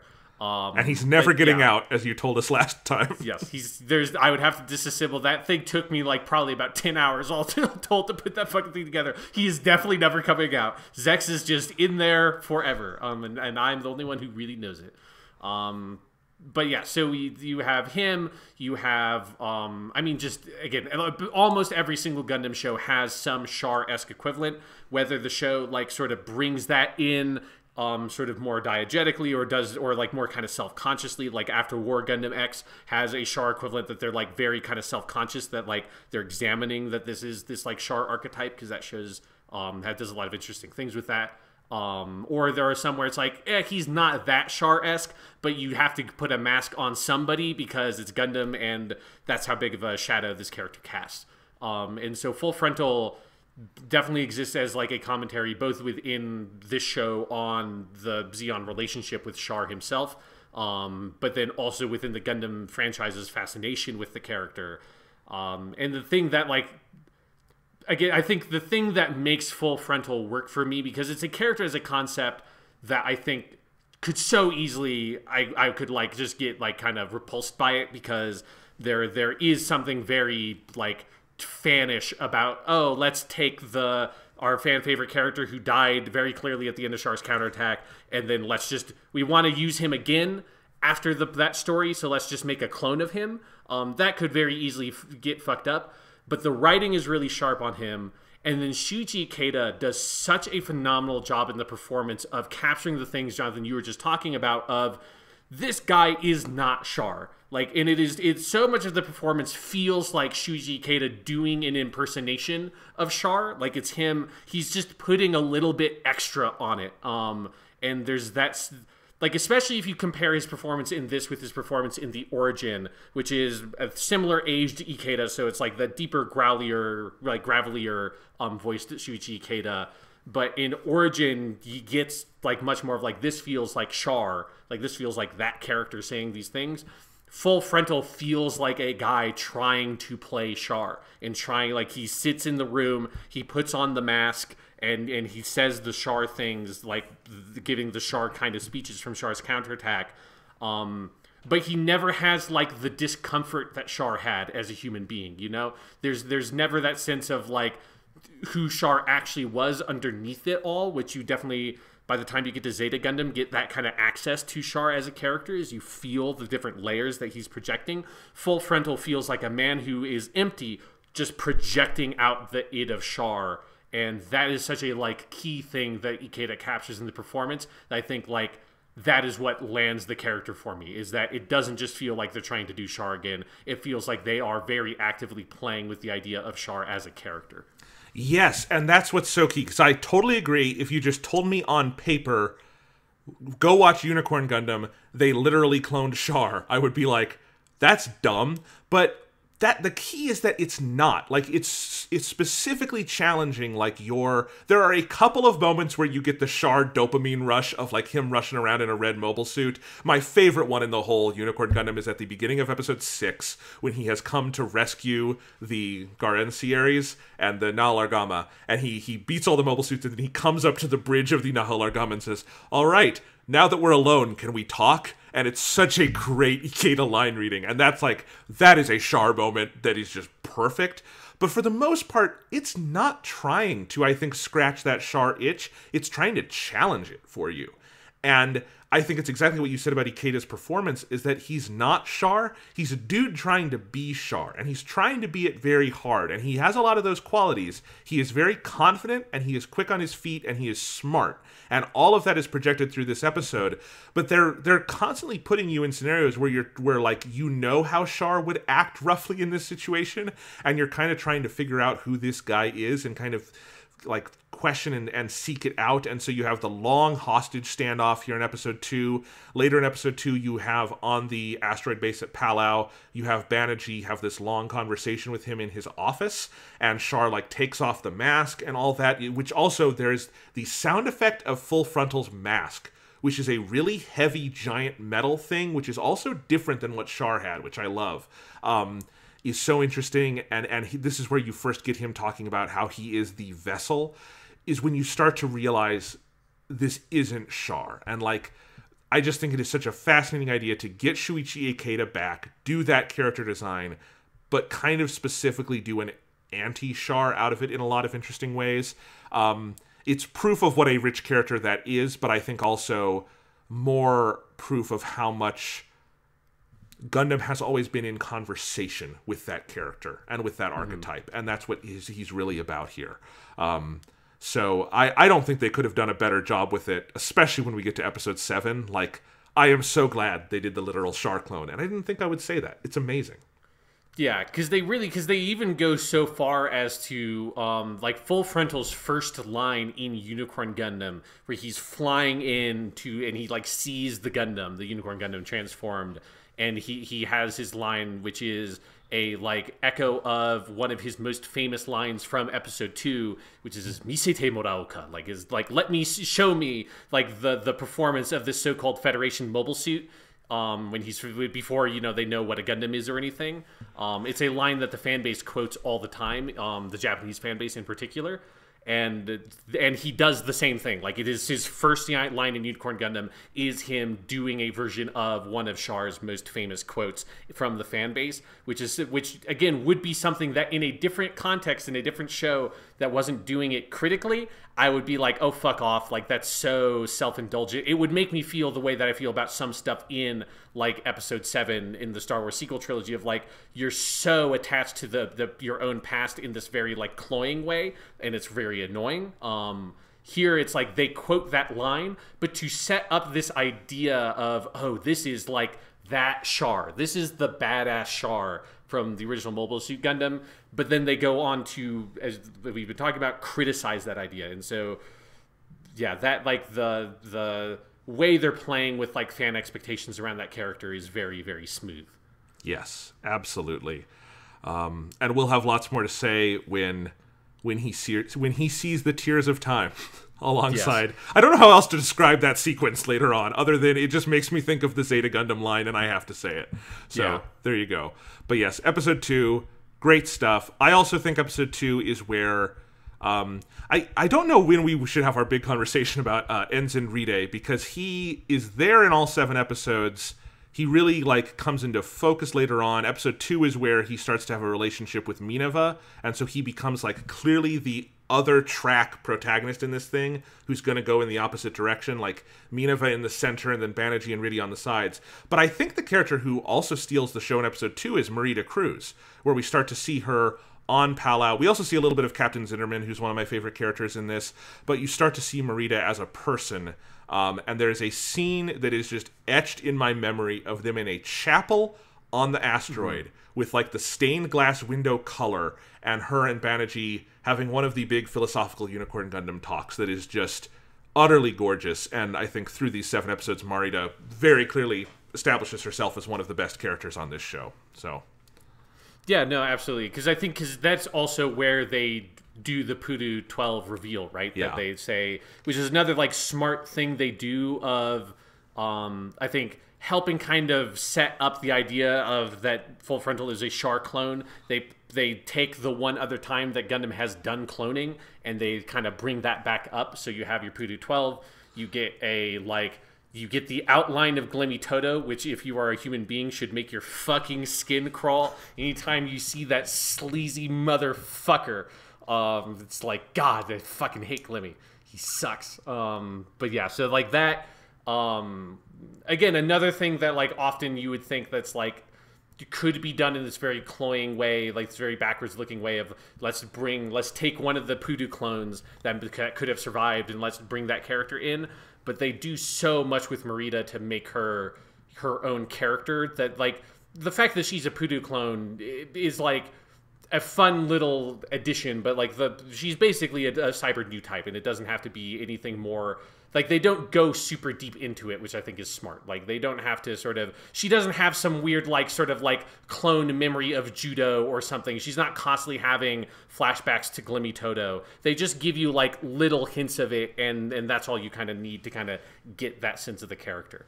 Yeah, I think it's a really nice connection if you have watched Double Zeta and have that knowledge, and I think it fills in a lot of like the emotional like it's an emotional shorthand because just knowing she is Pudu 12, your relationship with Pudus 1 and 2 tells you so much about her, you know? Mm-hmm. And like it gives you kind of a backstory that you that the show does not need to dwell on.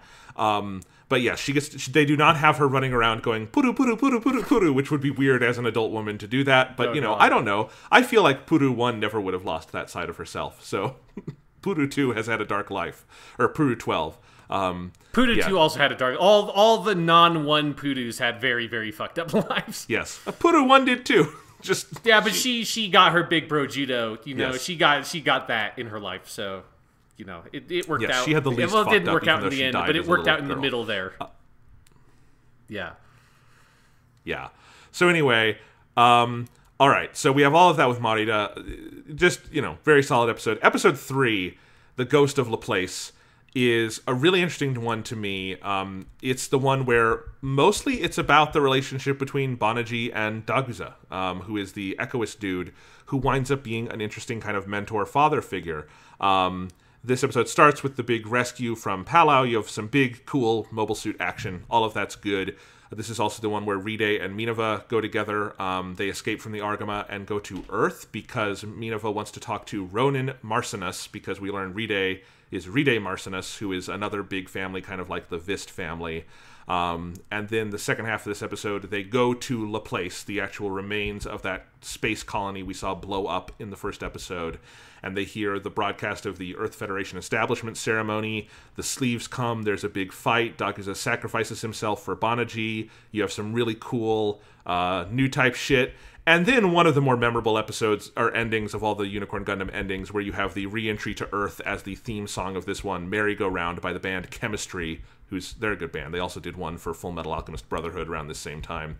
Um, and you have this big re-entry to Earth. There's a lot of good stuff in this one, and I I like Daguza, and then I like how this sets up, like, because the next episode is going to be all Banagher and Captain Zinnerman, and I think these different kind of father figures and Banagher trying to reckon with the past and being in this soldier position. There's a lot of really interesting stuff there that feels like, again, it is a recontextualization of past Gundam boy persona or you know, like archetypes and stuff, but in a really thoughtful, critical way that seems like it's pushing things forward. Yeah, yeah. So yeah, because as you say, this episode is him with his like Federation father figure esque character.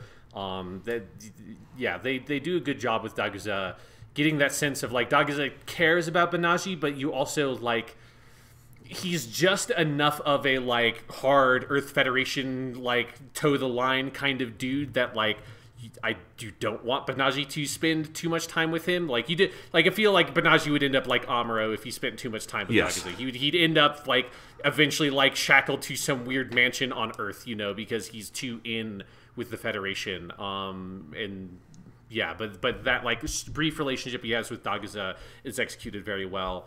And then and then there's always a soft spot in my heart for any time Gundam does the re-entry episode. It's always one of the best episodes. It's always one of the best things you can do is have the Gundam fall to Earth and have a big cool like shot of from from the ground on Earth with a character looking up and seeing the Gundam fucking coming in from like 500 miles away and it's like a fucking falling star. I mean, Gundam has done that shot probably about 15 times to this point by the time Unicorn Gundam happens, but it's good every single time they do it. Oh, it's always so good. And I think doing it with the credits in this one is such a great mic drop of an ending. Yeah. Yeah, I love all of that. Episode 4 at the bottom of the gravity well. One great title. Dark as sin fucking episode because this is where you have um, Banagher with the Garencieres for the most of the episode. He is with Captain Zinnerman. They go through the desert together. I want to talk about some of those scenes. Um, but you also have the big attack on Dakar happens to let the Garencieres in, and then at the end you have the attack on the Torrington base and this character named Lonnie who uh, Banagher is trying to save, and there is just death everywhere. It's one of the like big Gundam massacre episodes. Like nothing good ever happens when characters go to Earth in Gundam. Everyone time everyone goes to Earth is when the darkest stretch of the show happens, like every single fucking time. And so it's just insane. You also get uh, Captain Bright comes back in this episode, and he's there pretty much for the rest of the series, which is cool. We'll talk about that. Um, and then you also have Marida being transported to uh, this like facility where the where Martha Vist Carbine and the other Carbine dude are like doing horrible, horrible new type experiments on her. So very dark episode that ends with uh, Banagher and Riddhe having this big argument where Banagher does not want to kill Lonnie, the woman in this like mobile armor that is going crazy, and Riddhe kills her himself, and then it like ends with a gun at the Unicorn Gundam's head, which is awesome, and then the black unicorn dropping into the field. So I love this one. Yeah, this is this is I think the first episode, this episode, and the last episode are my three favorites. Um, yeah, this one because I mean the main thing that I love so much about this one is Zinnerman, who Yes. is one of the best characters from this show. Suberoa Z- Zinnerman. Let's give his full name because Suberoa Zinnerman is also a very very good Gundam name. Um, and yeah, like him being the like grizzled old pilot on the Zeon side, um, who who's like the the you know gruff father figure with a heart of gold. Like it, it is a little bit of a cliche character, but they pull it off so well in those scenes in the desert when when they're together and him giving the kind of like tough love um, thing to Banagher and trying to kind of show Banagher how to kind of pull himself back up from the depression that he's in. Um, some of the best stuff in this whole show. Some of the best stuff. Zinnerman to me feels like if Ramba Ral lived Mm-hmm. and was still Ramba Ral like 20 years later. Well, this so this is 96, so this is like 17 years after the One Year War, and like a Ramba Ral who maybe he and Hamon actually tied the knot and then had some kids, and then they all died because the Federation did something really shitty and because that's Zinnerman's backstory, he lost his family. He kind of has nothing other than his crew and the war. You get the sense that he is not ideological with Zeon. Like he is not someone who like is fighting because he thinks he has to take over the Earth. It's because this is kind of his role and his place, and it is the spot where Banagher realizes he has so much more in common with these people than he has in difference and kind of uh, sees that gap that I think all the Gundam protagonists see at one point or another, but it becomes really raw to Banagher because this isn't quite a war that's going on. He is not tied to any one single side. Um, and then it's all challenged, I think, in a really interesting way in the closing sequence where the Zeons are doing something just appalling to this Torrington base. They are killing all these because it's the we should say the way Zeon is constructed in the Unicorn Gundam series is that there is the sleeves force led by Full Frontal in space, but then it's all these different guerrilla forces on Earth. And so basically they're like the Lonnie character who is this key to the end of the episode is from one of these Earth forces and they are like much more ruthless. They're kind of all gone crazy.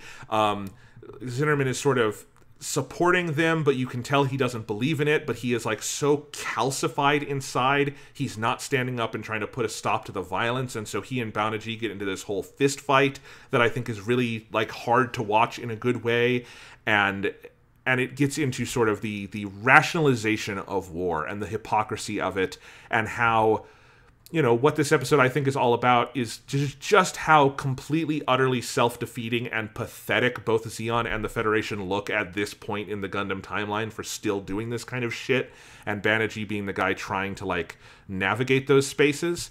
Um, it's great. I agree with you about all the stuff in the desert. Um, there's there's this really big conversation they have that I love, and I would love at some point to like take a transcript of that entire thing. But there was this one line that I loved that I did tweet out because I said there's a lot of dialogue in Unicorn that catches my breath and kind of makes me pause to consider it and digest. And one of those was where Zinnerman says they're talking about like society on Earth, and they're looking up at the sky, and he says, So to survive, they, humanity, protected themselves by creating civilization and societies. And Banagher says, Yeah, but those societies got too complicated, and before they knew it, people were forced to live just for the purpose of maintaining the system. And the captain says, In the end, it made life hard to live. And then they transition to talking about colony life.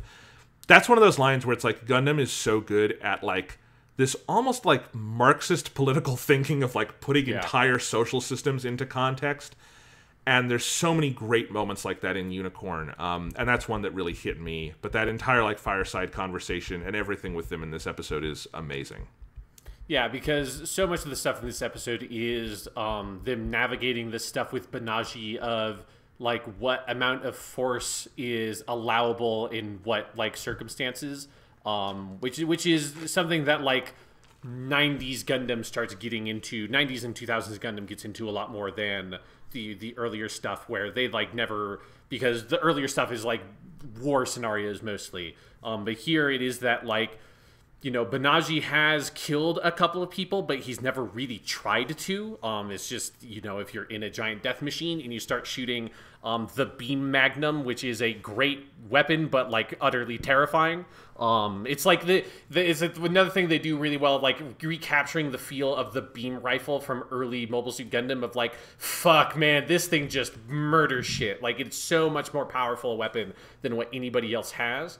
Um, so when he so he has ended up killing a couple of people at this point, um, which is one of the reasons why Banagher is in this depression, is because he knows some of the people he's killed, and so he's kind of trying to figure out how to navigate that kind of moral space and is it okay to kill people in those kinds of situations is it not like how much is he perpetuating these these cycles of violence that he is criticizing by being in the unicorn gundam and participating in these conflicts um, and which is not to say that Unicorn Gundam has like an answer to that question because there is no answer to that question of like what amount of force is acceptable in nuanced circumstances is something we will never there there is no way to know the answer to that question.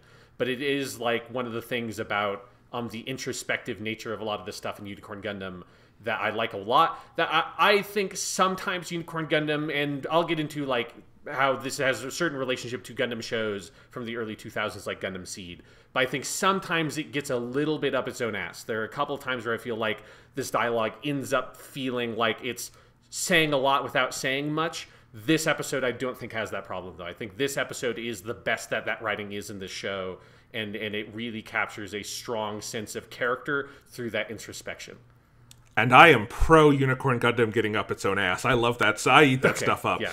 But but I understand what you're saying. Um, and the other thing to say about this one is the character of Loni Garvey, which is her full name, who is the character in the second half at the Torrington Base massacre.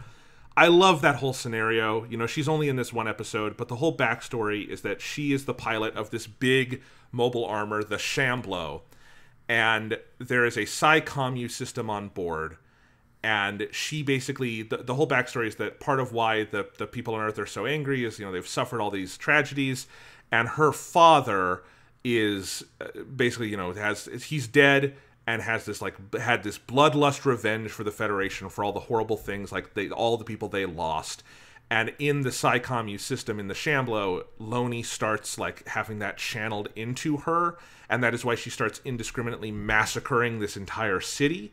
Um, and that's when Banagher and Riddhe both go in to try to stop her and like it's a really interesting situation they put in because it is a version of something Gundam has done before but with a but like pushing the new type stuff another step forward you've got Banagher just so utterly diametrically opposed to killing. Like he cannot like that is something about him is that he just cannot in his like constitution make himself do that he is too sensitive. He is too much of a new type. Like it causes him we see this multiple times physical pain to see that happening to other people. Like is the it, it really is that idea of the new type powers being extreme radical empathy you know? And what's happening though is that like from Riddhe's point of view and i think from the audience's point of view is like objectively you've got to put a bullet in that giant mobile armor because it is killing untold numbers of innocent people. Like Riddhe is kind of right to be furious with Banagher here, even though he cannot really understand what Banagher's going through. And I like you just come out of this episode sort of feeling like shit, which is how the characters come out of it feeling. And I think it is one of the best presentations of this kind of scenario in Gundam, which is it is it is the Gundam Kobayashi Maru scenario, you know, where like there is no right answer, every choice is shitty. How are you gonna you know try to like minimize the damage. And is it okay to minimize the damage when that just completely mortgages your soul? And that's there's so much of that going on here. And that there is a cost for Riddhe to do this. Like we'll talk about this character. One of the things i love about the character of Riddhe is the path they put him on towards darkness is in part because he's the guy who keeps having to kind of take on the roles that Gundam protagonists often do. He kind of he takes on all the dark parts of the Gundam protagonist arc, and Banagher gets to go on the side of light a little more. And there's there's a lot of that going on here. Yeah. Gundam, Gundam, But then a giant black unicorn drops from the sky. How cool was that, Sean? is very cool. I like the Banshee Gundam a lot. I think it's a very cool. It's a good design, and it's it's just such a killer. In, in an episode that just feels like there's no possible way there can be a cliffhanger to this. Like you just did the thing, like you you shot the mobile armor, like that part of the scenario is done, and then this other fucking Gundam just drops out of the fucking sky. Um, very good. It's a great ending to an episode. Oh yes, and episode five is just called Black Unicorn. It is a very action heavy episode because it is mostly about Banagher and some of his friends breaking away from the Federation, forming a new unit with the Nahel Argama and the Garencieres to go continue the Law Plus mission um, because it has become clear at this point that the Federation is up to no good. And so there's a lot of cool action. This has one of my favorite space naval maneuvers in the entire Gundam franchise, which is the we'll talk about it later, but there's a re there's a re-entry into the atmosphere scenario that like it deals with like fucking degrees and and and all sorts of like launch parameters that I fucking love. It's popcorn to me. Um, but yes, there is a lot going on in this one. I don't even know if I could summarize it other than what I said. But one thing to note is that while we see him in episode four, this is definitely the Captain Bright episode. He is in this Yeah. a lot. He's in episode six and seven.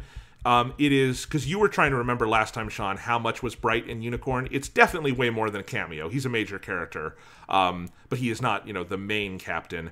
But I love him here, and I wanted to talk about Captain Bright's stuff because I think he has a lot of interesting stuff in this series. I like seeing him in kind of a higher command scenario. Like he's clearly more of like an admiral level at this point than he is just captaining one ship. Um, and he has a big conversation with Banagher where he is sort of because Captain Bright was in all of Gundam, he's the guy who can kind of see the generational thing going on here. He can say the right words to Banagher. And also, as we always see with Captain Bright, it is always kind of subtext with him, but I love it. Captain Bright is loyal, but he will absolutely kick his side to the curb if he knows they are doing the wrong thing. Because we saw that Yeah. in Zeta Gundam, where he um, defected and went to the uh, Aug, and we see that here, where he organizes a he orchestrates a situation whereby Banagher and the Unicorn can get out there and find Laplace's box, because whatever the fuck the Federation is doing is not working. Um, and with Captain Bright, this was the first production with Captain Bright where uh, Hirotaka Suzuoki was dead. Um, I said last time I was so worried to have to hear anyone else voice that role because it's such an amazing performance by Suzuoki. But I do want to stop and praise Ken Narita, who is the actor who plays Bright in these episodes. And I think he does such a good job of following up on everything Suzuoki did, but also bringing the character forward. Because the lucky thing is, he gets to like kind of take the baton from where Suzuoki left off and go further into the continuity. So he gets to lean into the age and wisdom that Bright Noah has. And really, it sounds like the character evolving, not like he had a a voice transplant. It's it's a really good takeover of an iconic role. I don't know if I've ever actually heard this kind of handoff of a voice done this well. Yeah, it's like obviously it it will never be as good as if you know Suzuoki had had had lived and and continued to be able to play the role and stuff. But it is it is the best case scenario for something like that. Like it, it is hard to imagine someone else being able to play that character um that well. Yeah, so Ken Narita who um, like this is the main thing he's done as Captain Bright, but also in like any of the modern games, he does the Captain Bright voice and that kind of stuff. Um, he does a really phenomenal job. Like he, yeah, in, in Unicorn Gundam, I'm with you that there's something about the fact that it is an older version of the character, and also like both in the sense of where it is in the timeline, also in the sense of like um, the animation style is so much more modern that like by necessity he just looks different because it's like a digital animated production and all that kind of stuff um, it, i think it allows the different voice to sort of sit much more naturally with the character than it would otherwise and it makes it much easier to accept even when like you know, it, it, was. I didn't have a hard problem with it at all when I first watched Unicorn Gundam because at that point it had been so long since I had seen any Captain Bright stuff because I had gone through all like all of alternate universe Gundam by that point and and all that stuff. Um, but even having watched pretty recently for both of us, Captain Bright like in his prime, um, like it is it's still I'm like shocked at how well that transfer works. And yeah, his core scene with Banagher in this episode where he gives him the Gundam boy talk um, is very very good. Yeah, I I love it. Also, there's a little detail, but on the Ra Cailum, uh, Bright's ship, mm-hmm. which he had in uh, Char's Counterattack as well, he's got an office, and you see it several times, and then I think it's in episode six, he like stops and acknowledges it. He has a picture of Amuro on the wall, and at one point he stops and like says, I, I think I'm doing the right thing, right, old friend, or something like that. Good God, the feelings of Captain Bright, mm-hmm. who is not an outwardly emotional guy, putting that Amuro picture on the wall and having that there as something hanging over him every day says so much and I definitely teared up at that. Yeah, it's it's like the most Captain Bright thing ever is he just it, I love I love the picture that it is too. It's like this weird glamour shot of Amuro like in a like a jeep. Like it looks it looks like it was when he was on the colony in Char's counterattack or something. It's like he's wearing the same kind of clothes. He's got this like you know, I like that. I like that it's not here's Amuro like wearing his normal suit or whatever in like the cockpit of the Gundam, like eating a fucking sandwich or whatever. It's it's no, here he is as a civilian, just like leaning in his car, um, just just kind of posing, looking a little moody. Um, it's a good it's a good Amuro picture, and and yeah, I'm with you that the first time I watched it and this time I definitely teared up when he stops and, and looks at it, and yeah, it's they're you know it's it's Amuro and Captain Bright. It's they're they're the Gundam guys. They're it's the core of that original show. They're some of my favorite characters in anime, so it, it hits me pretty hard. Yeah. Good stuff. Uh, you know, you talked about how this is the first digital production Captain Bright is in, so the animation has to be inherently a little different. I love how they deal with it is not weird in the original shows, but if you have to do it in modern animation, Captain Bright has green hair. And that is a weird thing in the original shows is that you don't even think about it because that's just something you would kind of do back then in anime is you could get away with just like giving someone blue hair and it, I don't mean like crazy Yu-Gi-Oh green hair. I mean like just like a subtle green hair, and that's the paint you used. And I don't even know if it's supposed to be green or if Bright is supposed to have black hair and they just colored it green. But I like how they straddle the line in Unicorn where it is black with a green sort of sheen. They did a really good job adapting what is a super 70s anime character into 2000s animation, which could not have been an easy job.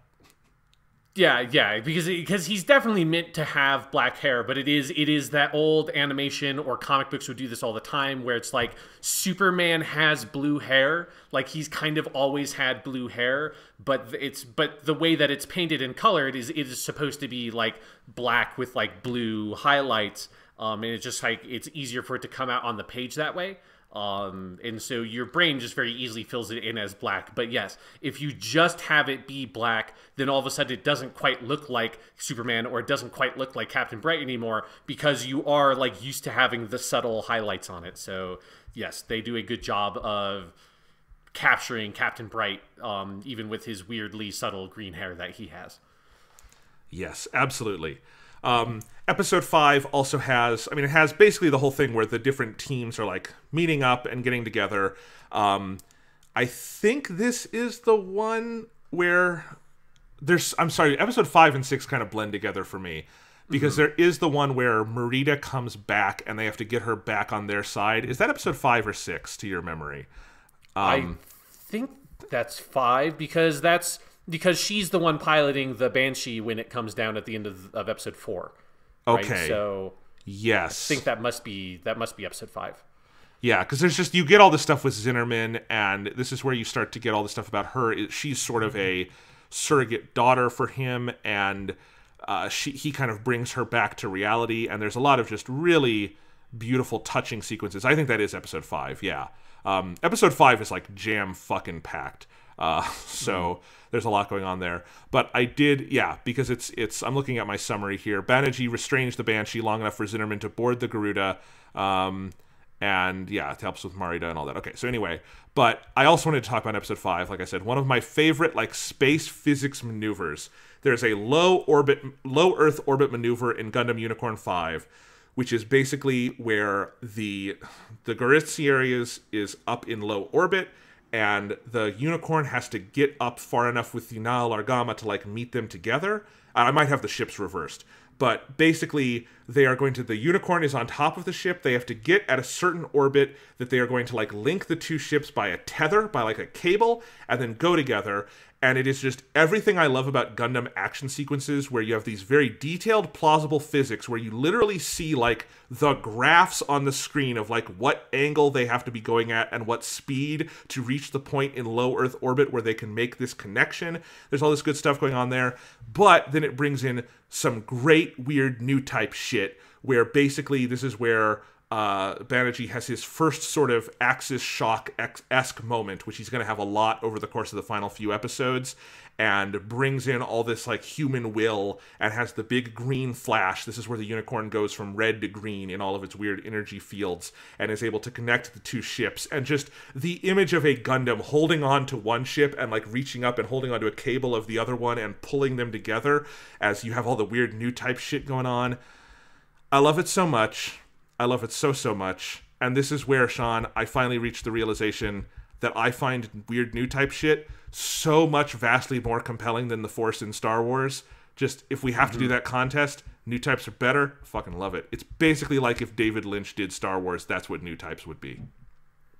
Yes, yeah, it it gets to be more like weird and vague. I think partially because of the way that so many different people have kind of like done it and redone it in different ways. Um, and in the way that like Tomino never like it it and never like really goes fully in on what exactly is new type stuff. Like fucking who knows? Like who like that's and I and Gundam is best when it is just like yeah, I don't know. Like, is it actually a like evolution of humankind? Like, do they have telekinetic powers? Can they read people's minds? Are they just like weirdly sensitive to other people's emotions? Fucking who know knows?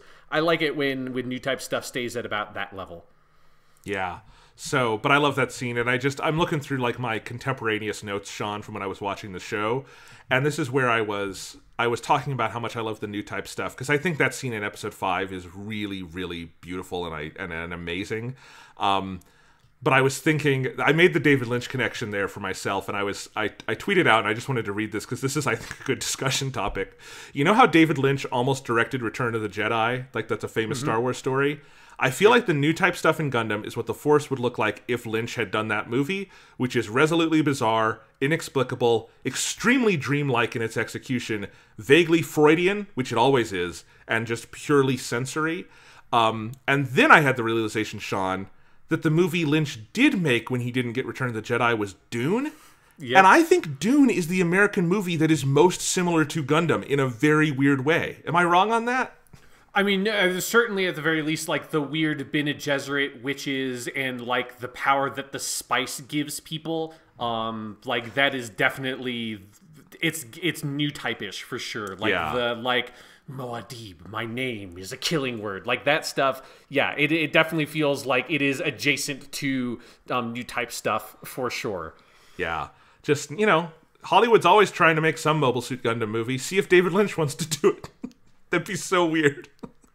Cause God, does does Dune have a like shot transition that is um Kyle MacLachlan's like weird blue spice eyes like over over the desert? I think like, so. In the sky, because because that is the like classic new type. That's you know Yeah. of when Amuro stabs Lalah and his eyes are superimposed over space. They do the same thing in Unicorn Gundam with the shot with Banagher in episode six or seven, and I'm pretty sure Du- Dune does literally that exact same shot somewhere. So Yes. yes, yes, Dune is Dune. The movie is weirdly like American Gundam. Yes. I don't think anyone else has made that comparison, so you heard it here first.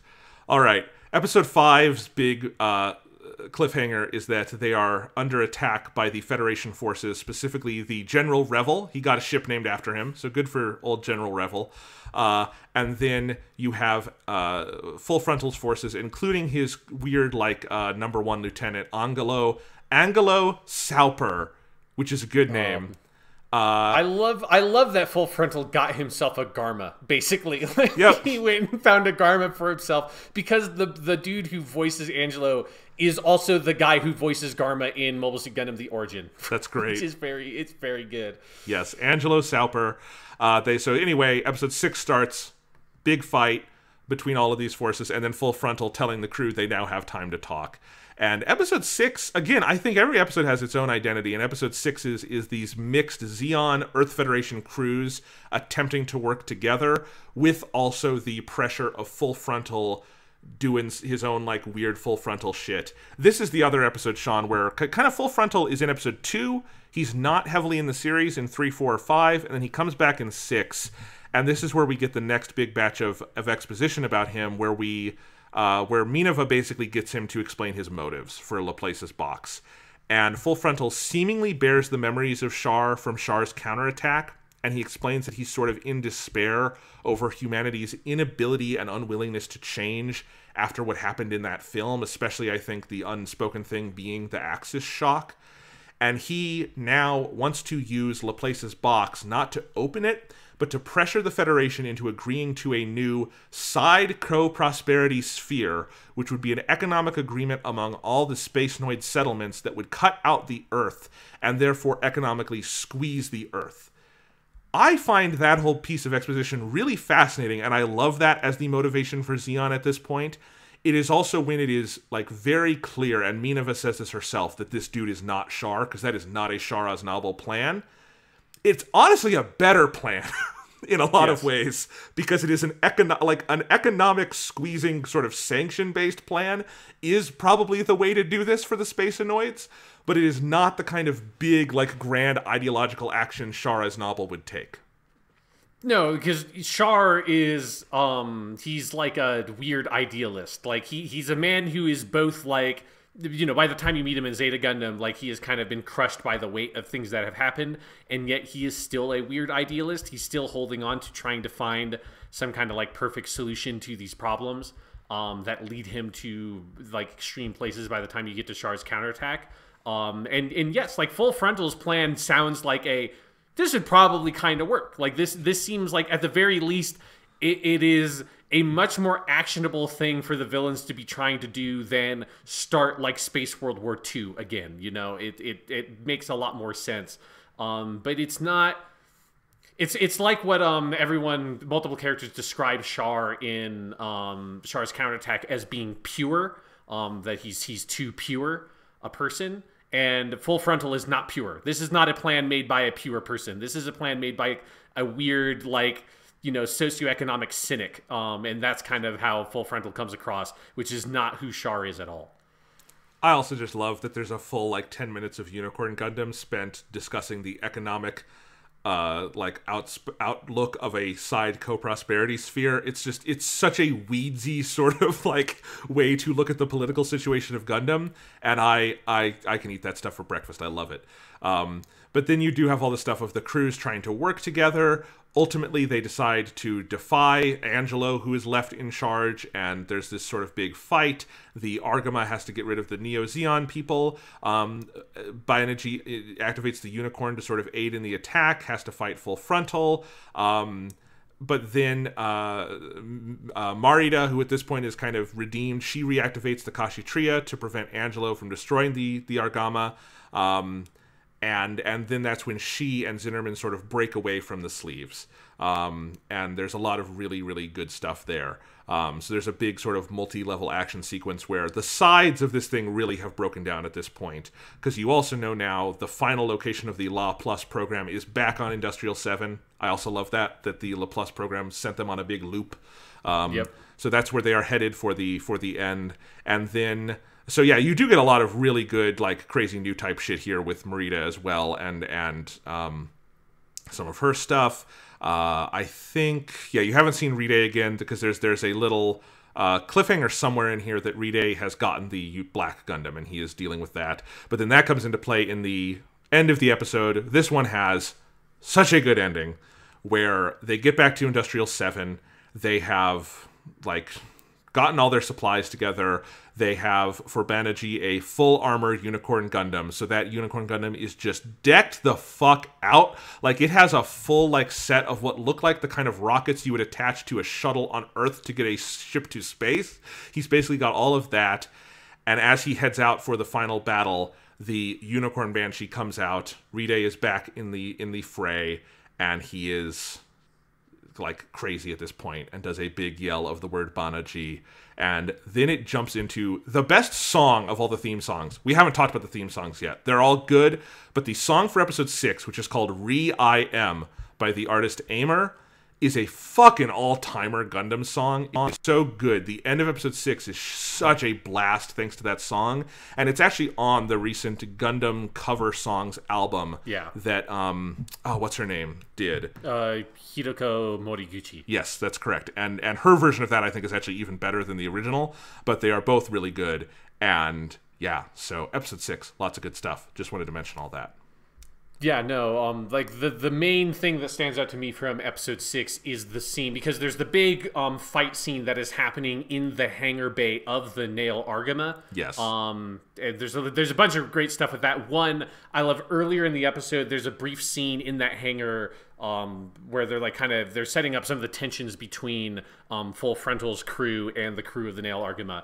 And so you have all these different Zeon guys in there and being like, uh, man, why did they stand up their their mobile suits in the bay of the hangar bay of their ship? Like, man, this is something that only someone trapped by the gravity of Earth would ever think of. Because all the Zeon people suspend their mobile suits from the ceiling of the docks um, in their ships. And so I think that's a great detail to have these like Zeon dudes just be like, the fuck are these weird Earth people doing? Like, you're in space most of the time, assholes. You're in a big spaceship. Why are you standing all your fucking mobile suits up, you weird perverts?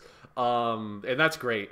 But anyways, at the end of the episode, you're in that hangar again, um, and there's a big, there's the fight against all the different factions of where you have the people of the Nahel Argama. You've got Banagher, who is like, as always, between the different sides. You've got Angelo and the full frontal crew on one side, and then you have Marida and Zinnerman, who are both being pulled um, between each side, and that's where Zinnerman gives this big speech of where first um, he kind of sided with the full frontal crew and stayed with Zeon, and he gives this big speech about how hard it is to let that hatred go, um, and as he's still kind of swaying from one side or the other before he ultimately decides um, to to join uh, the the rest of the effort with the Nahel Argama to kind of be this neutral middle side. And that speech that he gives as he's like tearing up, talking about his family, um, is really great. That's like the a scene I think about a lot from Unicorn Gundam. One of my favorites, yeah. And it's it's Zinnerman and Marida at this point have just so entrenched themselves as some of the best characters in this series. I there's so much good stuff with them. But yeah. Yeah. But then Sean, we have the finale, Over the Rainbow, which is basically a Gundam movie. Like I know all of these are sort of movie esque in that they're all an hour long and they have really good animation, but the finale is a full 90 minutes. I think takes a step even further up in terms of the animation and music game, and just I would put this right on par with all the Gundam movies that we've talked about that you know we like and love, and and like either the compilation movies or Char's Counterattack, or when we talk about it F ninety one, which is a weird mess, but I kind of love it. Um, but yes, I just this final episode is so good, and like Unicorn Gundam puts itself in a weird place where it needs a really good payoff. Like they can't get away with anything less than great because so much has been pushed to what is Laplace's box, who is full frontal, a lot of the kind of the mysteries they've set up. And I think I don't know if I've ever seen a show built on a mystery box like this do its ending this incredibly well. It's really fucking good. Yeah, it's it is really phenomenal, especially once you get like to all the stuff of like once they get into the colony and you you re-meet um what's his name Syam Vist um Yep. the guy who took the the Constitution originally and then and then all the stuff between Banagher and Full Frontal in this episode so fucking good Yeah. that yeah it it absolutely nails the ending 100%. Yeah, this is probably my favorite episode of the series. I have rewatched scenes from it so many times. It's sort of got three big phases to it. There is the first half hour is basically just like the war, the big battle at Industrial 7 with all of the different sides. You have the Argama crew, you have the Sleeves, you have the ECOAS troops, you have other Neo Zeon forces who have kind of surrounded the colony. Um, you start with a big battle between Banagher and Riddhe. Uh, Banagher eventually breaks away, and then he has a big fight with Angelo, which is a really good fight. Um, and then he takes Mineva, and they go into the colony. And kind of the second phase is everything in the colony, the big revelations. And then I would say the big third final phase is the final battle with Full Frontal, and then what's going on with everybody back on Earth, where the Vist Foundation, who has taken control basically of the Federation army at this point and has reactivated the Gryps 2 laser, because that's still out there, and are going to fire a big space laser, and how that's going to go. But I think, yeah, those three phases are all worth talking about, and overall, just definitely i would say this one has probably my favorite overall sustained action of the gundam series is in this episode because i think that initial battle is one of the best presentations they've ever done of a big mobile suit space battle. It's it's kind of like you know solomon or albawa just done with modern you know very expensive animation. Looks amazing. Um the fight with full frontal at the end is incredible and then goes to some of my favorite new type stuff in the series.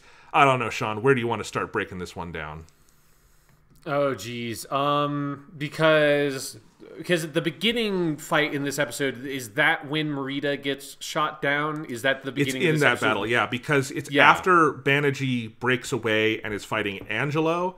That is when the like the final phase of that initial battle is Riddhe starts fighting because Marida is holding Riddhe back so Banagher can try to get to Industrial Seven because like they need the unicorn to get there. He's not doing any good on the battlefield, so Marida is holding him back. And when Marida dies here, which is what we're probably going to talk about, is when she sends the psychic message intuiting that there is this space laser threat that is coming to them. So, yes. Yes. Yeah, so one thing that's really interesting about that scene is when Marida dies, like the thing that happens after that is extremely similar to Amuro dying in the novel version of the original Mobile Suit Gundam. Oh, specifically the yeah, the new type ghost going to visit all the people um and but like one of his warnings is there is a laser aiming on this position. We have to move. And i forget i think it's maybe the captain of the Nahel Argama i forget one of the characters that she like you know gives a message to but you only hear their response. The line that he has is like sounds like a quote from that book. Like it is extremely similar um which i'm not sure what to, what to make of that in, in the larger scheme of things, but there's something about that that I found very striking because I just didn't have that context at all the first time I watched it. But the, when Amuro dies in the book in the, the novel version of Mobile Suit Gundam, it is when he is trying to warn people that he has realized that the solar ray is aiming on the position that they're all at right now, and that Gihren's going to destroy this whole fleet, um, both some of the people left from Zeon and then the Earth Federation people. So there's something cool about them kind of repurposing a little bit of that concept um, for this scene from Unicorn Gundam. It makes sense because they're probably. I do not think Sunrise is ever going to do an adaptation of those books. No. And so doing, even though it might be kind of cool at some point, although it would be traumatic, um, but taking like the probably the most iconic scene in those books because it is the one that is most different and putting it into this is really interesting. But that whole sequence with Riddhe kind of losing himself and he almost it's really interesting because they almost get through to him. There's this weird like new type confab where Banagher and Marida and um, Mineva and everybody are like getting through to Riddhe and trying to say, "You can come back. We forgive you. Stop this." And then in in the shot, his gun is floating through space and it hits his hand. And when the gun comes in contact with his hand, he loses it and starts to think of all the things he he feels like these people have done to wrong him. He takes the gun, overcomes the like new type barrier, and just blows up Marida, and she sends out that final signal. Um, you see uh, Banagher like has full body convulsions, like he's like just broken. Um, Riddhe, I think, starts like vomiting in his helmet, like it's really extreme visually. Uh, and there is this big cosmic event because of that. One touch I like is the episode of the TV version of Unicorn that does all of this is called Another Cosmic Glow. Which I think is a clever title for this stretch of the show, um, because it's a really powerful moment, and maybe this is when we should talk, Sean, about Riddhe and and his role on the show. Yeah, so Riddhe is like I like the character. Like he's I think one of the weaker parts of Unicorn Gundam to me because I'm not sure if I totally I'm not sure if like the OVA structure totally can is good at selling me on his like big character swings because he moves pretty wildly from being a good guy to a bad guy to a good guy again because I mean that's this last episode is he comes in piloting the banshees like Banagher and murdering and trying to murder people murders Marida and then by the end of the episode or like halfway through the episode he and Banagher are teaming up against Full Frontal. And so I think the the the OVA series is asking a lot of the audience to kind of like commit to that character especially when a lot of the swings that happen is for stuff that you don't really see. Because one of the main things that he kind of says that like causes one of his big kind of villain turns is that he in at some point off screen learns what the Laplace's box is. And that's one of the things that kind of pushes him over the edge is kind of realizing the sort of you know weird sort of like horrible hypocrisy of everything that has happened for this entire 100 like the all the horrors of the conflict conflicts that have plagued this entire century are caused by like horrible kind of misunderstandings in this kind of twisting of this like kind of gesture of hope um and idealism that happened at the beginning of the century that was lost um and so like there's i i think that there is material there to convince me and do the work to have those character swings um totally sell for me. I like that is the main part of unicorn gundam that i think never really works for me um is particularly because i have seen this exact character arc be done much better in other gundam stuff. So like he ends up feeling like he's a very kind of tropey gundam character mostly from a lot of 90s gundam shows but his execution is not as good. Yeah, so it works for me, but I don't disagree with what you're saying. Like, I it is definitely the thing that is most kind of out of step with what you can do in seven and a half OVA hours. Is he starts as basically just a foot soldier, kind of is like re, is like you know Banagher's buddy, and I think that's part of it is that he and Banagher have very little time together um, Yeah. in the run of the show to fully sell that. He and Mineva wind up having more of a, a relationship. But yeah, he goes from good guy to frustrated good guy to full on wacko bad guy to good guy again at the end. I, I, I, it worked for me. I do not. I don't think I've seen the '90s Gundam shows you're referencing. If, if Yeah. I'm thinking correctly, so like for me, this felt like something of a new character type in in the chronology I've been watching, just in terms of him being kind of like cut from a similar mold as our protagonist and being saddled with a lot of the dark shit that a protagonist would usually have to kind of synthesize for themselves and he is kind of getting a lot of the worst brunt of it. And then there's also this whole thing with like he is part of the Marcenas family who is sort of like the dark after image of the Vist family um, and that's a whole thread in Unicorn Gundam. Um, but you know I, I think thematically where it works for me is him being the one who is pushed to the big murdering another new type Lalah Sune moment you know. Um, and where he comes back from that and sort of how the forgiveness manifests itself in in Banagher and Mineva and kind of the the big final battle with full frontal it worked for me. I think he also has the the vocal performance is really good, and I think particularly his he gets the final lines in the series basically, where he is the one like chasing after um, Banagher as this like fully evolved new type in the big crystalline mobile suit and trying to like emotionally deal with what he's seen is such a powerful moment. Um, so yeah, I, I think that weakness is there. It's really a structural thing more than anything else. I'm not entirely sure how they could have done it better because I think it is a really important character for the series. You couldn't cut it out or anything like that. Um, but yeah, it, it worked for me, but I can understand why it would work less for others. That's all I'll say on that. Yeah, because it's not that like I think the character doesn't work at all. I think it's mostly that it's like, like it, it feels like you would have needed to make him the protagonist of the show to be able to take that character on that arc and Yeah. and kind of sell it. Um, him being like a couple of pegs down the ladder from protagonist means that like he he has very violent character swings um off screen multiple times and that gets a little bit tedious which again like is something that is exacerbated by the fact that like I, I have seen the things that they're pulling that character from. Um, other Gundam shows that that character's kind of pulled from in different ways, and so it's like that aspect of him being like the dark mirror of the protagonist um, that goes on a similar kind of journey and ends up being a villain and then comes back. Like I have seen them do that, and so it is that it like that part, the novelty of it doesn't um, kind of work for me because of my context for when I saw it. I also think just there's it's something we haven't really talked about yet, but I think the experiential qualities of Unicorn Gundam are so powerful through the animation and the music and the direction that things like him killing Marida and being broken to the point of being snapped back into his humanity and that radical like that is what awakens him as a new type weirdly is doing this horrible thing and being flooded with such empathy he can never be the same I can I would buy if you said that was not narratively sold because there is a lot as you say there's a lot of character turns that happen off screen.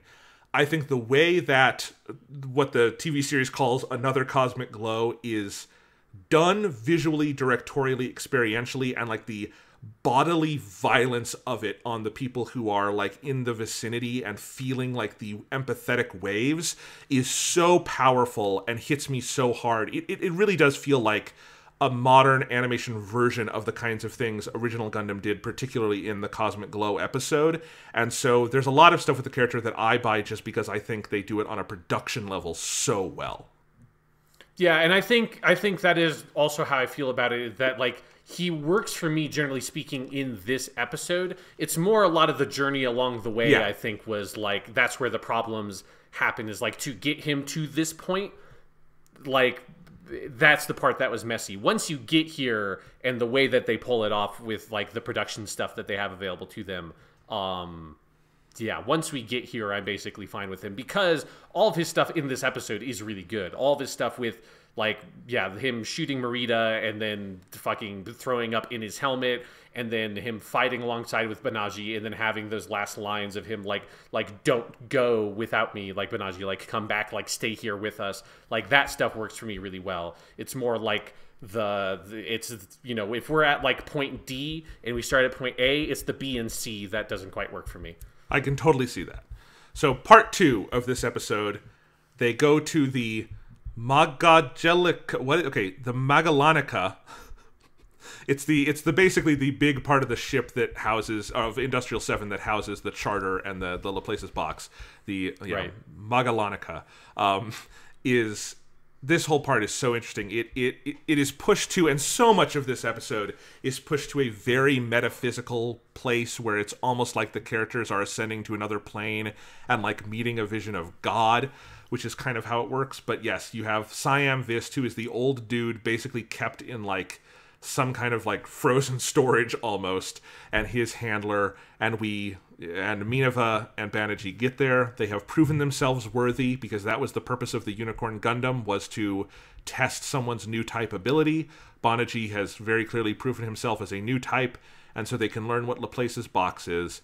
And Laplace's box is the original Universal Century Charter, which states as the final article that if humans evolve or a new type of human kind of comes into existence in the new f- space future of humanity, they must have a voice in the representation of Earth government. And that was erased by the Federation following the Laplace incident. And that has been their dirty, dark sin ever since. And I thought that was kind of a brilliant thing for Laplace's box to be because it is simple.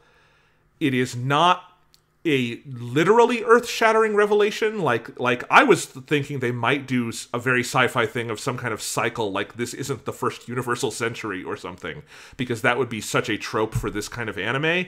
But Gundam is smarter than that and it really is something as simple as there was this promise that was made and it was erased and not kept and it is more about the implications of what that would mean and all the things that were allowed to go by in its absence than it is about the literal power of this document.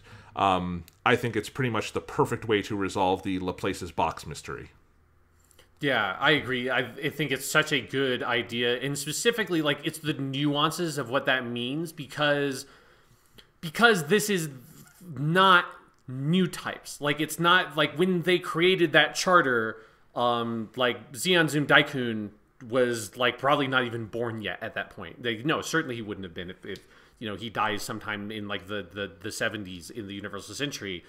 Um, so like his whole new type theory, that's not a thing. Like this is just them saying like if if this le- if in like very vague terms, if at some point far in the distant future there like something like this happens, like then um then we can you know we'll we'll have that discussion and, and we will make space for our new like evolved humanity. And then after that is when the new type theory stuff starts happening. And that's where the earth federation government's like oh shit. We definitely cannot allow this to be a thing. We cannot allow people to know that this was like an idea we had because instead of it being some distant far off concept it's something that like might start happening in a couple of decades based on like the the philosophies that these people are talking about. And that nuance of it i like a lot of that it is the original thing that they were saying was not like we're going to make a government for we're going to allow like the new types to participate in the government. It's like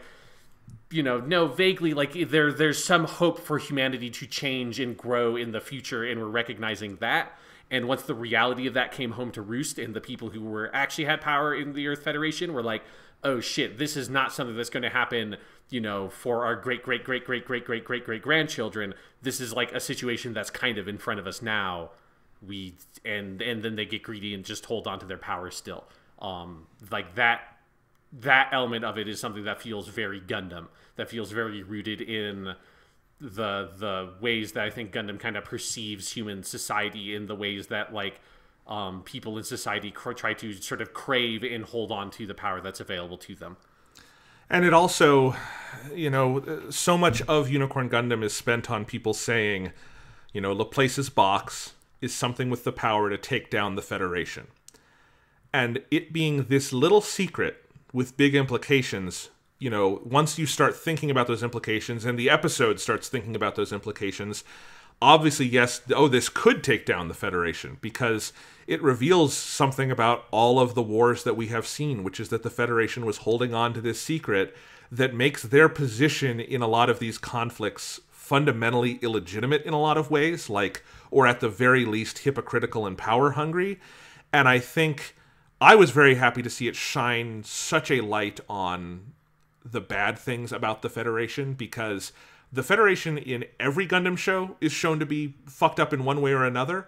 The only time they are the outright villain is really Zeta Gundam, and even then, it's not like the Titans are a, are an offset of the Federation.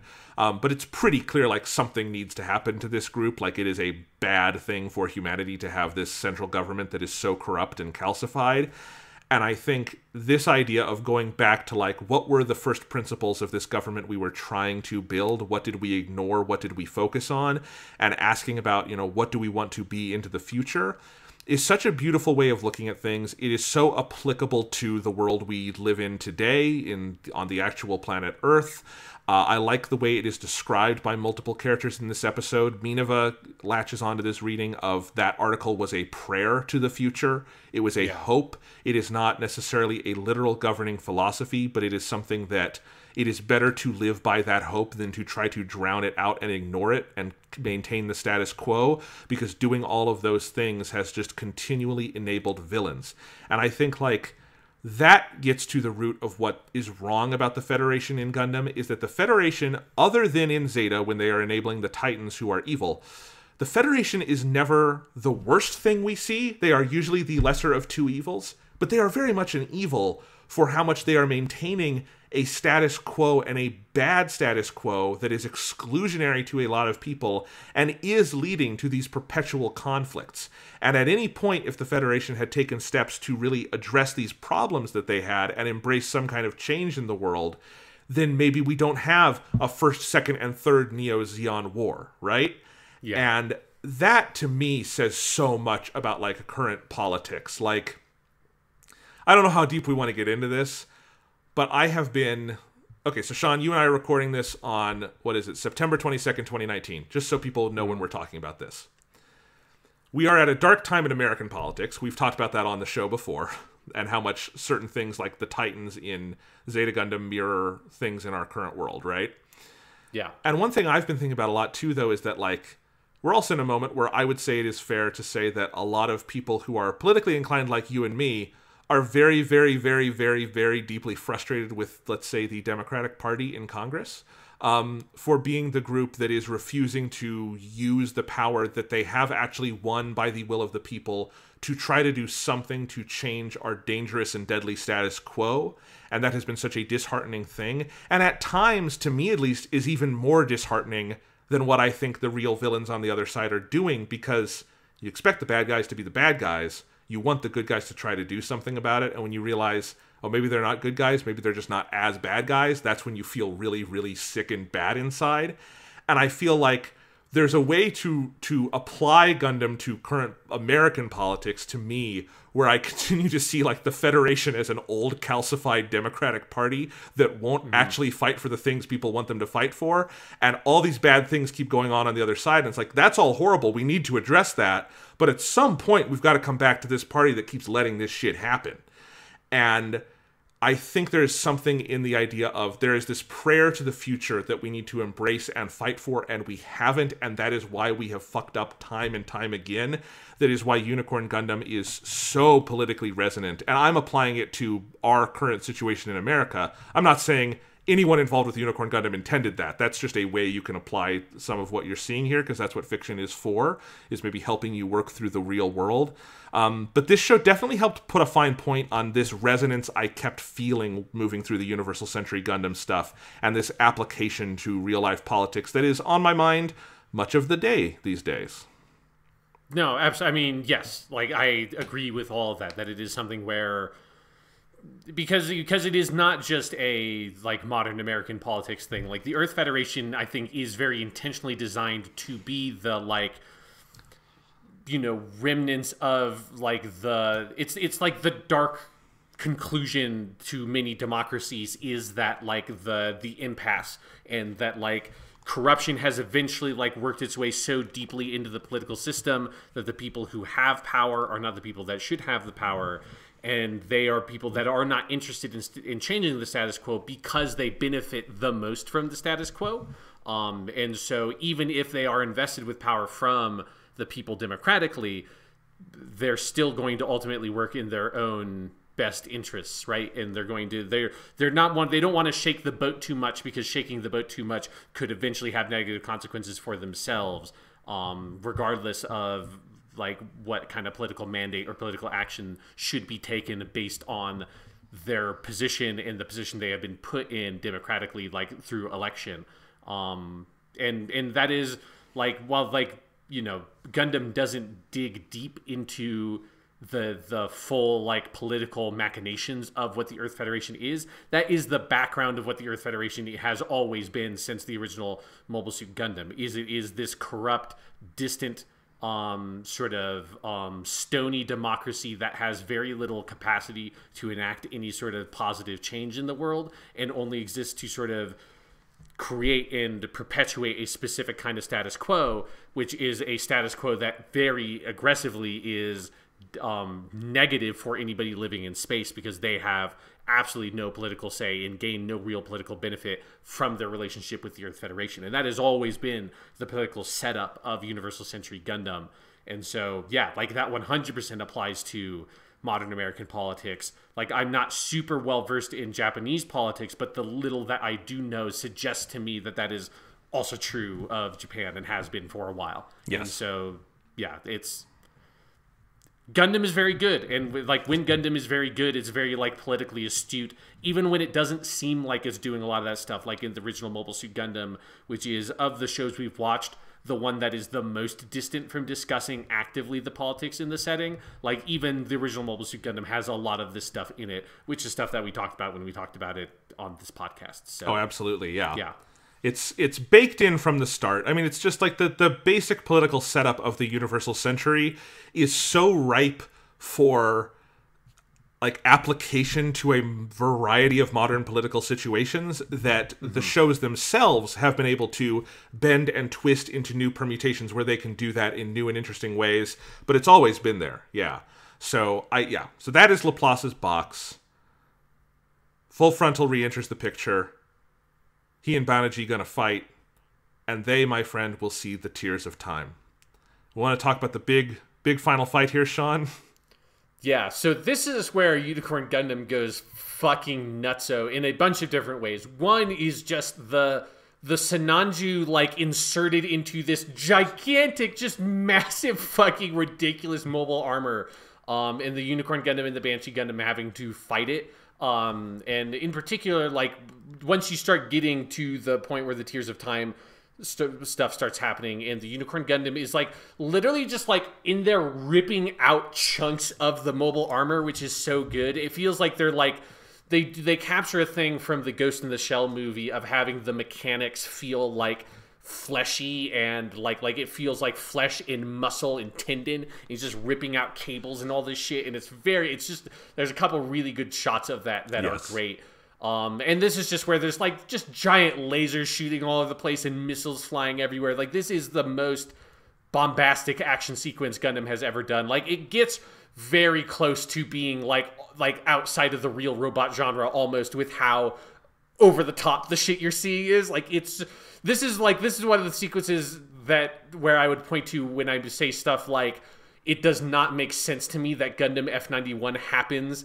in the same timeline where this shit occurred because like the combat in Gundam F91 is like not this. Like it's it's pared down even from where Char's counterattack is, where it's like they've made the mobile suits more compact. It's more ground level. Like it's it's smaller scale. It's like here you've got like a mobile armor the size of like a fucking city or something ridiculous, and the the Unicorn Gundam basically going Super Saiyan and just like giant colony lasers firing all over the place, and like here's a million missiles getting shot. Like it's it's so extreme that it is very hard for me to imagine that that F91 and Victory Gundam that stuff happens later in this timeline when this is the kind of fight we're seeing now. Like it, it's like saying you go from like go Super Saiyan Goku fighting Frieza and then the next arc in Dragon Ball is like a bunch of people it's it's like you know Goku versus Ten Shinhan from the second martial arts tournament. It's like Yes. you can't go back. You can't go backwards. Like it doesn't make it sense anymore. Like the continuity just has been like twisted in a weird way.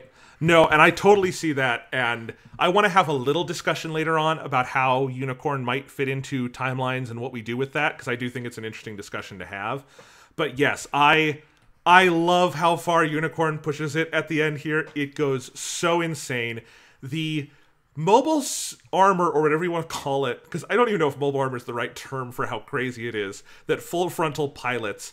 I'm one. I'm not sure it fully makes sense that Neo Zeon would have access to that fucking thing, because that Oh no! Like they've lost like four fucking wars at this point. How could they possibly have the resources to build this fucking thing? Yeah, but I love that it's there because it is it is the closest Gundam gets to something like fucking Unicron in Transformers, right?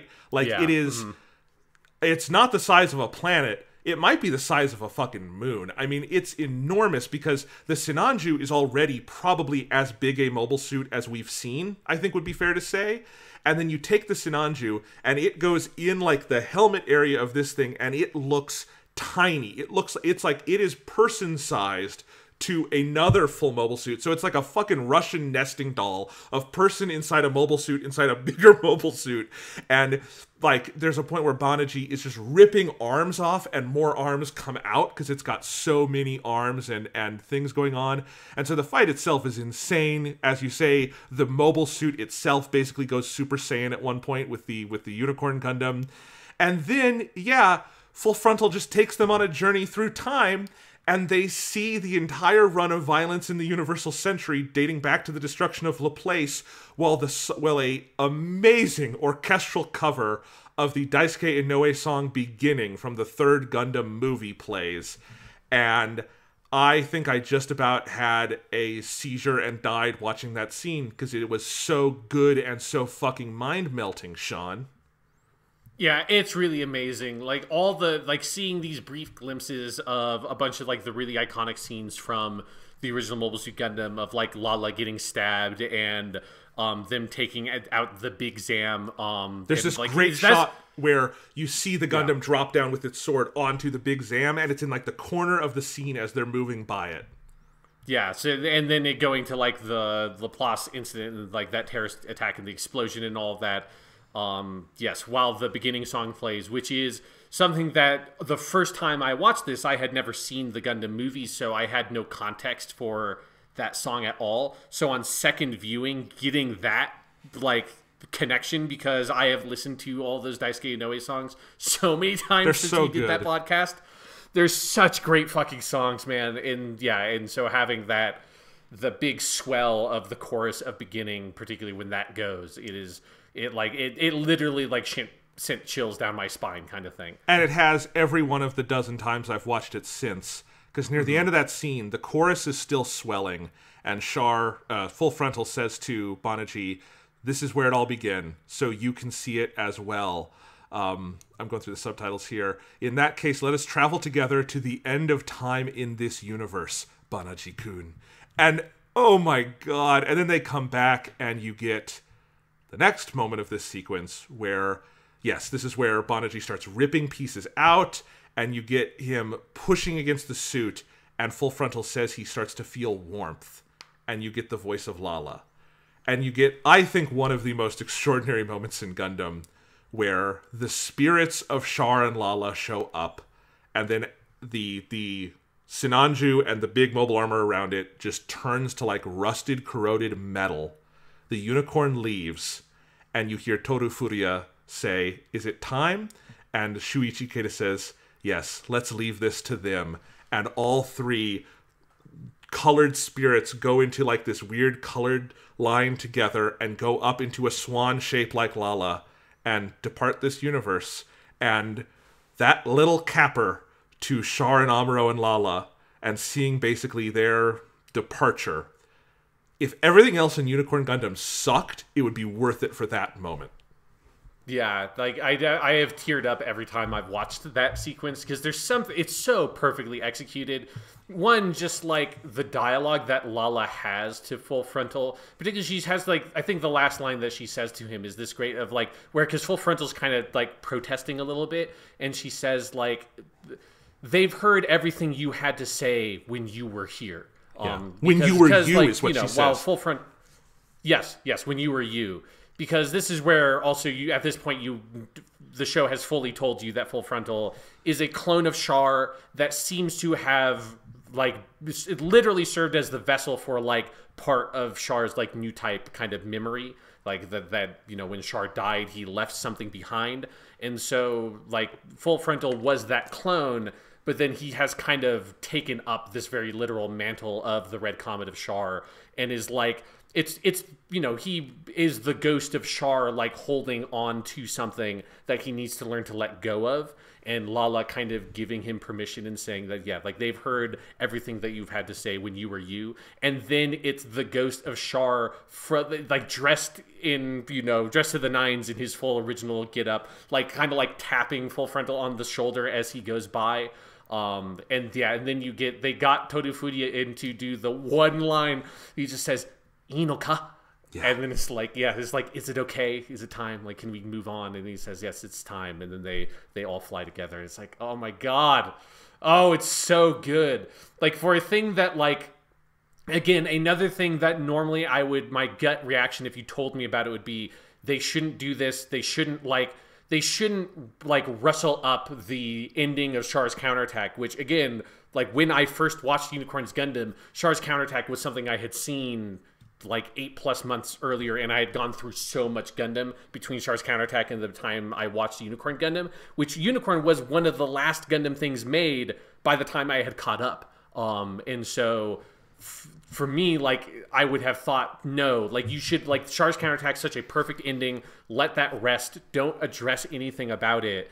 Um, and most things, I think, bringing trying to bring that stuff back up would fuck it up. And Unicorn Gundam absolutely nails it. Like this is the perfect amount. Like it's just just a little bit, just that little suggestion, and then that's all you need. And then leaving behind like the husk of Full Frontal's body in the husk of that mobile suit um, because full frontal like nothing has killed him he has just moved on um, it's so good It's so good. It is. It feels like the ultimate. This and then what is going to happen with Banagher at the end of the episode feels like the ultimate realization and payoff to all the new type stuff we've been seeing in a way that Unicorn Gundam feels like kind of a grand finale to a version of the Gundam timeline through this point that I think we'll talk about this later, but I think in my conception of it at this point, F91 is an alternate timeline. Like you kind of have to see them as a split because mm-hmm. I think the the future of the Universal Century after Unicorn Gundam and what we see here just fundamentally could not be what we see elsewhere. Like Zeon Zum Deikun's vision has come true to some degree at the end of Unicorn Gundam, and that payoff being there is something I don't know if I could have vocalized I needed at some point, Sean, but I did need it. And I think Char's counterattack gives you a version of that, no doubt. That's definitely there in the Axis shock at the end. But I think doing an even bigger version of it where you can see the world kind of react to it to a certain degree moves me so immensely I can barely even vocalize it. I love it. I love it so much. And Yeah, and that is absolutely. yeah, and that is the finale that we have to talk about, which is that the Gryps colony laser fires. Uh, Bright does his best back on Earth to stop them, but he isn't able to. The Bright has that great line where they're about to fire the laser, and he says, If you do this, you will make an enemy of me for the rest of my life. Which is the, and like, and everybody else in that room is so shook, and it's this great, just like, this is, this is the guy who at won the one year war. He won the Gryps conflict with the AU. He, he's won both Neo Zeon wars. Um, and he's he while this is not you know he's not the one who's winning the third Neo Zeon war. He's he's done his fair part in this one as well. You don't want to get on this dude's fucking bad side, trust me. And, Yes. and I love that line so much. I love the idea of a Captain Bright who full well knows who he is to these people. Like he is a walking legend. He carries that with him and like he is a humble man, so he doesn't like put it out there much, but if he needs to, he will flex on them. Yes. Yeah, it's like if you do this, I'm gonna go out there, I'm gonna find another fucking Gundam boy, and I'm gonna fuck your shit up. That would be so funny if he actually said, "I will find another Gundam boy." but anyway, Like I found like seven of them. Yeah. like come on, like let's do this. Come on, fucking fucking punch me. Gundam boys are a renewable resource. Um, Yeah. All right. Great stuff. The laser fires. Banagher and Riddhe get together and they do some kind of crazy new type shit to create these like physical barriers. And then Banagher goes to another plane of existence basically. Um the uh, the voice actor drops out of the episode for like the next 20 minutes. Um because we don't hear him again until the final line of the series where he says Odori. But we'll get there. Um, and and the unicorn basically because we don't even actually see what's going on inside the cockpit. Something happens. The energy calcifies and crystallizes around the unicorn Gundam, and he is able to basically negate the light energy from the laser. Uh, and then later in the episode, he will also, with a sweep of his hand, negate like an entire fleet of mobile suits, which is one of the crazier images Gundam has ever given us. Uh, and it is magnificent. That's what I mean when I say this feels like the culmination, because like that feels like a moment of like humanity has force evolved into something else, you know? Hmm. Yeah, it is definitely it is. It, yeah, it is the thing that makes it just feel like there's no way for other stuff to be set after this point because you can't you can't really go back you know? You can't like once once you have taken taken the new type stuff this far which i will say like there is a part of me that is a little bit resistant to just how how extreme it is. Like i don't really have a big deal with it. Like i i have i have gotten over the gundams going super saiyan thing a long time ago um, because th- this is like one of my original um, misgivings with the ending of Zeta Gundam was that Zeta Gundam does the Gundam going Super Saiyan thing with new type power, um, which in my heart of hearts, I will always prefer the new type stuff to be so abstract that like that's not like the only the only time a Gundam should be able to go Super Saiyan is if it's in Mobile Fighter G Gundam, where it literally turns gold and is called Super Mode, where and which is it's just them being Super Saiyan because G Gundam is great and dumb, and that's the martial arts one. So that that one gets a full pass on Super Saiyan Gundams because they're literally Super Saiyan Gundams. Otherwise, like I would prefer if Gundam avoided it. That being said, almost every fucking Gundam show does it. Um, Zeta Gundam does it. Double Zeta does it. Char's counterattack doesn't really, but like the Axis Shock is sort of close. Um, um, then you go to what like Gundam Wing sort of has a version of it. G Gundam has a version of it. Gundam Seed has it all over the place. Double O Gundam has it all over the place. Turn A Gundam has it. Point being, most Gundams have some, whether you call it Trans Am, whether you call it new type bullshit, whether you call it like seed mode, whether you call it like NTD mode, whatever your weird fucking thing is, most Gundam shows have some kind of Super Saiyan Gundam. Um, but in my heart of hearts, I I I'm still a little bit resistant to to to the mobile suits being able to exert power at this scale. I kind of prefer there to be that stronger dichotomy between the new type stuff is something that the human has and the machine is something totally external from that. I like that setup from the original Gundam, but most Gundam stuff doesn't really do it that way. Yeah, you can't be too resistant to it, Sean, because otherwise you would not be a Gundam fan. You would be a fan of one Gundam show. From Exactly. Like, yeah. In, in ideally, I would have I would have liked more Gundam stuff to have kept the setup that Mobile Suit Gundam went with. Um, but because ultimately, it also is something that only manifests in like usually near the end of whatever Gundam thing it is. So even if it bugs me, it will only bug me for like two minutes or whatever. You know. Because here's my view. I felt that same resistance at Zeta Gundam. And then I think Zeta Gundam builds it to such a powerful ending that like I immediately got like I felt the resistance in the moment and also got over it in the same moment because I saw the potential of what they were doing with it.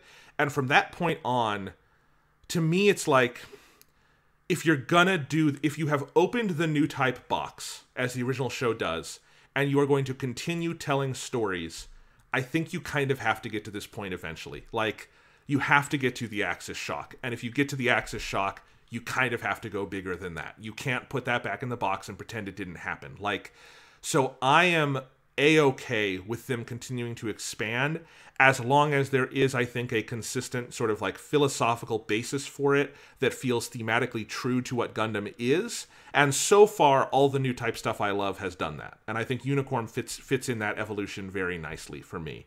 Um, but it is also i think a culmination. I i agree and we'll talk about this like f91 and the stuff that comes after that. Uh, i can't speak to victory gundam but i can speak to crossbone gundam. Just they reset in a certain way because uh, like Char's counterattack is very clearly an inflection point from which you can kind of go one of two directions and I think we've seen both directions now in the two sort of continuations we have one being unicorn one being F91 onwards. Um, but you know uh, this kind of stuff I think just you and I can speak to this in our history of doing podcasts together. I know this kind of thing works more for me than it probably does for Yeah. you. That's just a personality thing we have. Um, but yeah, it's it's part of why I love Unicorn Gundam so much is how much it commits itself to it. And you know, one of the great things about Gundam is if this isn't quite your flavor, there's a lot of other Gundams that probably are. So Yeah. that's the great thing. Um, yeah, uh, I love it. It's it's so bizarre and out there, and yeah, works for me. And the ending is so extraordinarily beautiful. I love the the unicorn like soaring through space, leaving this blue trail, and Riddhe, who I think is a new type at this point, but is clearly on a different plane than than Banagher is falling behind and feeling left behind, and he has this whole speech about like, "No, come back here! You know, I'm going to steal Audrey from you, Banagher!" And then you go into the cockpit and you see like Banagher with his eyes rolled back, and he stirs a little bit, and you see there's still some humanity in him as he says, Odori. And then the final theme song, also by Aimer, Star Ring Child, which is also really fucking good, kicks in and they both fly back to the. Well, first the crystallization disappears and like re comes into the body of the Gundam, and then they fly back together. Uh, and I'm forgetting the other major thing of this sequence, of course, is that the last 10 minutes is all intercut with Audrey giving her big speech uh, to to the world, basically to all of humanity, about Laplace's box. And you know, in some ways, this feels like to me, in my experience watching, like the end of the Universal Century arc of Gundam. You know, of like everything I've seen so far. This feels like the culmination, and the rest is for your imagination. And then, as I said, F ninety one is an alternate timeline or something. You know. Mm-hmm. But the music that plays over this last sequence, the production values, the kick into the Star Ring Child song, boy, I it's such it's so good. It's such a good, beautiful ending, and it's it it's it's such it's such a fulfillment of all the things Unicorn is that other Gundam shows aren't, and makes Unicorn so unique. Is this big cinematic metaphysical swell that I I love so much.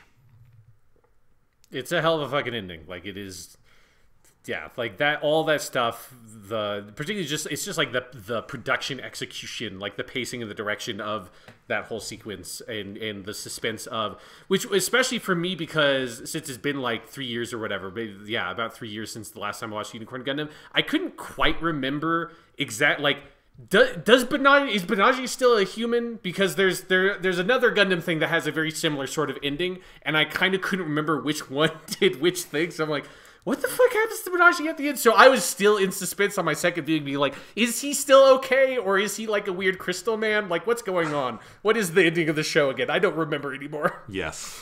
So good. Um man, I mean, we've got to move on to narrative Gundam, but is there anything else to say with I mean, there's always more to say, but Yeah. respecting that this will be a finite podcast, what else do we want to say about Unicorn Gundam at this point? Um, I want to shout out very quickly Otto Mitas, who is the captain of the Nahel Argama. Um, I like and him. Then, yeah, he's great. And then the guy, the the guy who's the from Anaheim Electronics, who falls in love with Marida, um, Alberto. Um, both of them are great because um, Otto is voiced by the guy who plays Uchiha Madara from Naruto, and then the other guy, the Vist guy, is voiced by the guy who plays Tobi uh, from Naruto, who those two characters in that show are also paired together in a way that is like weirdly reminiscent of these two characters in here. And I was like, I don't think I had watched, I had gotten to the part in Naruto um, where those characters appear the first time I watched Unicorn Gundam. So when I heard those voices, which are two of my favorite vocal performances from that show, I was like, oh my god, that's fucking like because they're not in a lot of stuff. So it was like, oh my god, it's those two characters and they're in the same show. That they have a lot of dialogue together, and it's giving me a lot of good Naruto feeling. So if you like Naruto, you probably had that feeling as well watching the Unicorn Gundam. Yes. Awesome. Um I wanted to say something, but now I've forgotten what I wanted to say. So, I don't know. You I will also say one of the best parts of the show that we did not talk about was the part where um, Gael Chan, who is um, Cardeas Vist's um, like bodyguard dude from the episode one, Yeah. you see him again in episode seven, and then he gets into a dope mobile suit called the Silver Bullet. And he fights uh, Char or Full Frontal in it for a little bit, and that is a great part where that dude goes and gets into like a mobile suit that like comes up out That of the is ground really like good. onto the lawn of the manor, and I'm like, this dude, I want a whole fucking OVA series just about this fucking dude being a dope butler that also is a great mobile suit pilot. That moment Yes. was amazing. Okay, so I remember what I wanted to say to kind of help wrap this up. Um, like, what do you imagine the future of the Universal Century would be after Unicorn Gundam?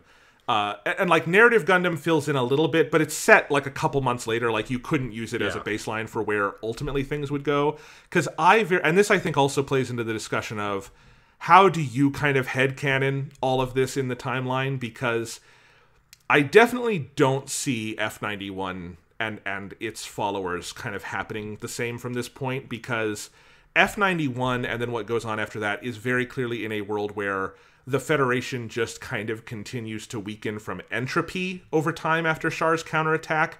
Mm-hmm. Whereas I do think the events of Unicorn Gundam would fundamentally shatter the existing world order in some way or another.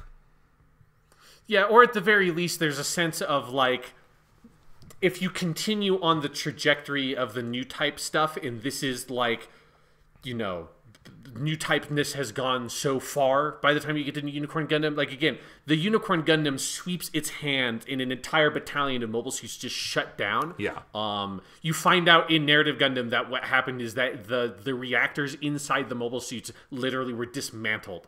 Um, like that is a scale of power that is exists nowhere else in um, Gundam. I think there's maybe I can think of two things. I don't even want to say where they're from out of spoiler stuff. I can think of two things in other Gundam shows. One of them is from G Gundam that is maybe at that power level, and even then, maybe those things aren't quite that that scale. Um, so, and certainly nothing in F91 or Victory Gundam is anything like that, like anywhere close. Like Uso, the main character from uh, Victory Gundam, is a powerful new type, but he's not like this. Like he's more to scale of like a Kamille or a Judau, you know?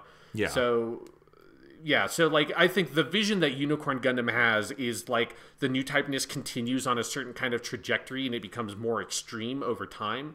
And I think Tomino's continuation is more like the whatever the culmination of new typeness is, that's still somewhere in the future. It's not like a it's just like getting better over time or like people are getting more new typey over time. It is it is still more vague. It is still more kind of up and down and, and a little bit kind of more all over the place. And so that's one of the things I think is like part of the competition between those two visions is Unicorn Gundam is saying, nope, this stuff is like happening at an accelerated rate and, and it will probably continue to do so. And I agree with all of that because having watched F91 and read, I've read most of Crossbone Gundam. The because Crossbone Gundam, just short, long story short, has a couple of series that are like its original run with its characters, and then it jumps way in the future, and it is still called Crossbone Gundam, but it's a separate series. I've read most of the original Crossbone Gundam, and Yeah, the original six volumes. yeah, there's six volumes, and there's a sequel called Steel Seven that is three volumes that like finishes off those characters.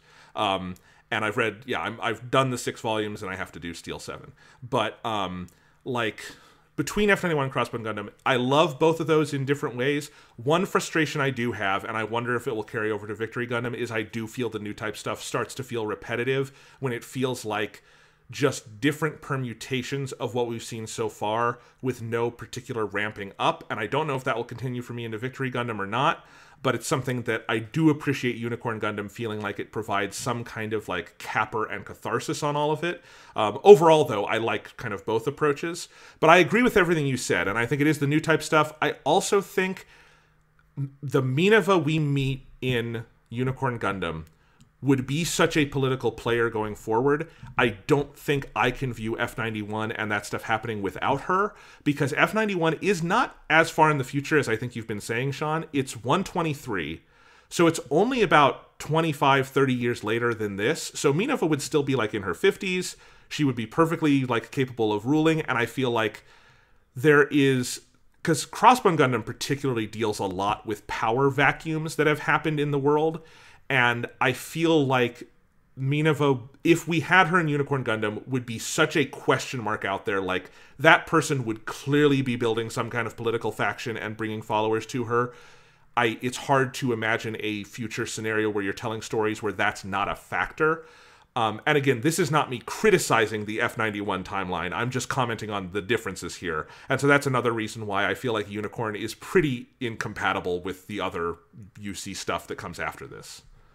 Yeah, because like F ninety one and Victory Gundam basically just sort of uh, suppose a world where where like Zeon ceases to exist effectively. Like the tensions between Earth noids and space noids will continue because it like it will always continue in Gundam as long as there are Earth noids and space noids. There will be some conflict between them, but it is but like the Zeon element of it is completely gone. Um, and yes, like I think Unicorn Gundam shows a very different vision of where whether or not Mineva would like I don't know keep the Zeon name or something. Like she is going to be one of like the major leading factions in for the space noids for her whole lifetime you know? So yeah like like F91 just kind of while it is not actually literally set that that much further in the timeline it is experientially it might as well be something different right? Yes. like it is it is it is so removed from the core conflicts um the specific conflicts that drove everything from Mobile Suit Gundam to Char's counterattack that like and there are no characters that cross over from those shows that like it might as well be something else Yeah, and I think that's my headcanon at this point is have you seen I'm sure you've seen this, Sean, the Legend of Zelda official timeline that branches after Ocarina of Time?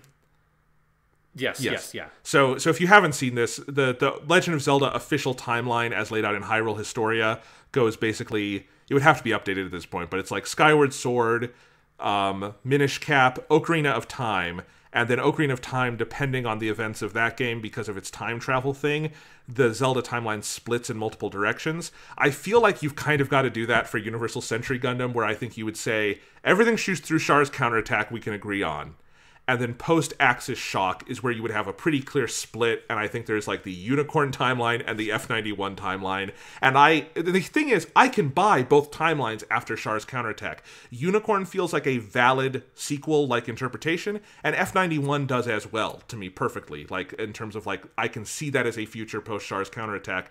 The even like the stuff about how the mobile suits shrink, that's actually contextualized very well in that movie um, Yeah. and in its expanded especially like in crossbone gundam and its expanded material so it's just if if you were to tell me though you have to go Char's counterattack unicorn then F91 and everything that does not really work for me as much as like you've just kind of got a head head canon for yourself a Zelda split timeline I think Yeah, I mean, yeah, I mean, if depending on how far we go with Gundam, there's going to be lots of weird timeline discussions with some like other like shows in the future Yeah. that will get very confusing um, when you try to like combine different stuff together.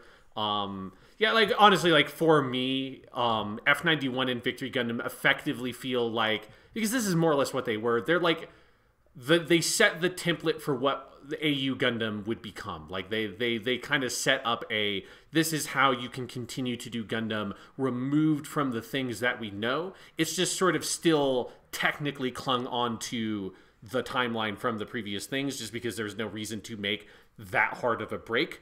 Um, but then once you have G Gundam, which is technically the first AU Gundam show, which I always love thinking about the fact that the first time they went through something that was not set in the Universal Century, they went for what if we did weird like Dragon Ball Gundam bullshit. This is like perfect. Yes, exactly.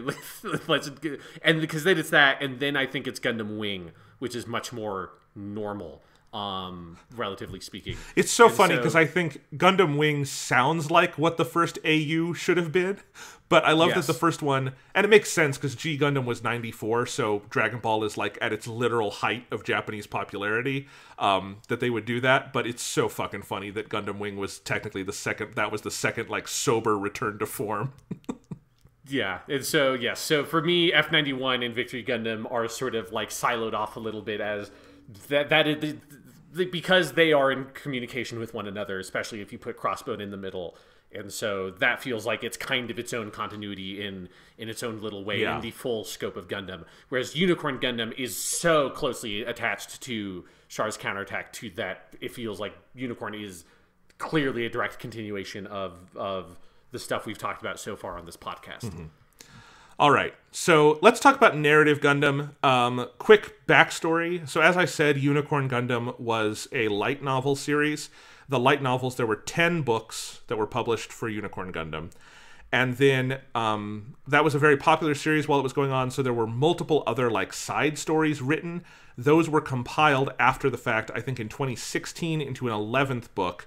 That book was called um, Unicorn Gundam Phoenix Hunting because the main story in it is called Phoenix Hunting, and that is what was adapted into Narrative Gundam. There's other material in that book that is not in this movie, and it's a pretty heavily adapted version of it, to my understanding, because the book Phoenix Hunting takes place simultaneously with the end of Unicorn Gundam, whereas the movie jumps ahead and has it be a year forward and does involve Banagher and Mineva in small parts at, at certain points in the movie, which they would not be in the book.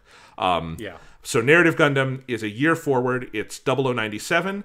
Um, and in this book, we are, or in this story, in this film, we are following three characters who, in, in kind of the lore, are the Miracle Children. They are three kids who, back in 0079, um, there was this one girl, Rita. They were all like elementary school kids and she is a new type who had some kind of flash of the future and her friends michelle and yona were both there with her and they all saw the colony drop before it happened. And so they became somewhat famous and known by the governments because they were the only ones who foresaw the colony drop as like literal um, premonition. And they were tested on for a number of years after that, sort of in the different cyber new type programs. We pick up in 0097 where Michelle is the leader of a faction in the Federation government. She is going after a mobile suit called the Phoenix, which is the third of the Unicorn Gundam line. There was the RX Zero, the Unicorn Gundam, and then there is the Banshee, and the third is the Phoenix, which is a big, cool yellow suit with big, like, metal tails. I'm actually not sure how the physics of that work, but it's cool. Um, and the Phoenix Gundam is out there in this in space, flying around. No one really knows what's going on with it. Uh, Michelle has employed Yona as the mobile suit pilot who is flying the suit called the Narrative Gundam, which is a cool mobile suit. We can talk about that later. Not my favorite Gundam, but it's fine. And um, Yona pilots the, the Narrative Gundam. They're going to try to find it. Uh, and that's kind of the setup for Narrative Gundam. And then a lot of stuff goes down after that. Um, and what I just explained, and this is important to understanding the movie Narrative Gundam, I just explained that in a fairly concise chronological fashion. The movie Narrative Gundam takes place pretty much out of order. There is a core um, like spine that is the hunt for the Phoenix but within that you have lots of flashbacks and side flashes and all sorts of things to kind of fill you in on this. And it's not really until the end of the movie you have it all pieced together. So it's definitely a movie where you kind of spend most of it kind of um, not fully clear on what's going on. It's stylistically very similar to unicorn gundam. It's a movie so a little bit higher budget. There's certainly some really impressive animation and action sequences. Um, it is definitely similar to Unicorn Gundam, and it feels like the side story it is, which is to say, I don't think it adds a ton to the universe that Unicorn Gundam did not do. I liked it though, and I think one, I do, think it's an impressive production. Two, I think the specific thematic thing it hones in on is the nature of death in a world where we have the new types we have seen. Because the whole idea is that Michelle has come up with a theory that she knows, as we have seen, something of new types lingers after death. She thinks something of that is imprinted on the Phoenix and wants to capture the Phoenix to try to find a way to immortality through new type science. Uh, and Rita, we find out at the end of the movie, has been dead the entire time, and her spirit is animating the Phoenix. So this goes really hard on the metaphysics shit. It's very much about the nature of death and the afterlife in a world where we have the new types we have seen all that stuff worked for me and i think this movie has an amazing final 15 minutes that moved me very much. So ultimately i liked it. I'm not going to say it's the most essential piece of gundam but certainly given how much i loved unicorn i really liked this as well. But that's my little spiel on it. What about you sean? Yeah, I I wouldn't say that I dislike it, but I, I didn't I didn't like it that much. And I think part of my I think this is part of like why I'm more lukewarm on this and why I'm not as enthusiastic about Unicorn as you, Jonathan, is partially like having seen like so much Gundam stuff that like I mean, some of the stuff that Unicorn Gundam does, like Unicorn Gundam pulls very directly from stuff like Gundam Seed, um, in ways that like I think this is one of the reasons why I like am not as enthusiastic on it. And Narrative Gundam feels also like okay, yeah, like you know, it's doing its own thing, but it also feels like a, a little bit Gundam paint by numbers. Like it feels a it, it doesn't feel like it's kind of charting out its own course. Which Unicorn Gundam, while Unicorn does pull things from stuff like Gundam Seed and, and a lot of those ideas, and Afterwar Gundam X and kind of does its own stuff with it. Unicorn Gundam still does feel a lot like it is pushing into its own territory and has its own identity. I think it is the the sense of like narrative Gundam um, retreading some of the same ground that Unicorn Gundam already covered, and then also not having enough time to flesh out its own characters, leaving them feeling like Gundam archetypes um, that don't kind of like stand on their own too well. I think that's mostly my main issue with it. That and I, I'm, you know, we we literally just talked about this, but like the new type stuff of like literalizing the new type ghost thing too much is something that I'm I'm not a big fan of doing. Like there's a whole speech that Michelle Luo gives at the middle part of the movie that like goes into like how people become new type ghosts and I'm like I'm not sure I ever want characters to really directly acknowledge the fact that people are becoming actual ghosts. Um, like other than like very vaguely people being like like Amuro saying, I can't go out into space. The ghost of Lalah Sune is waiting for me there. Like I'm fine with that because it's weird and cryptic and you don't know if he means it literally or if he means it metaphorically. Like what what does that mean for someone who's a new type?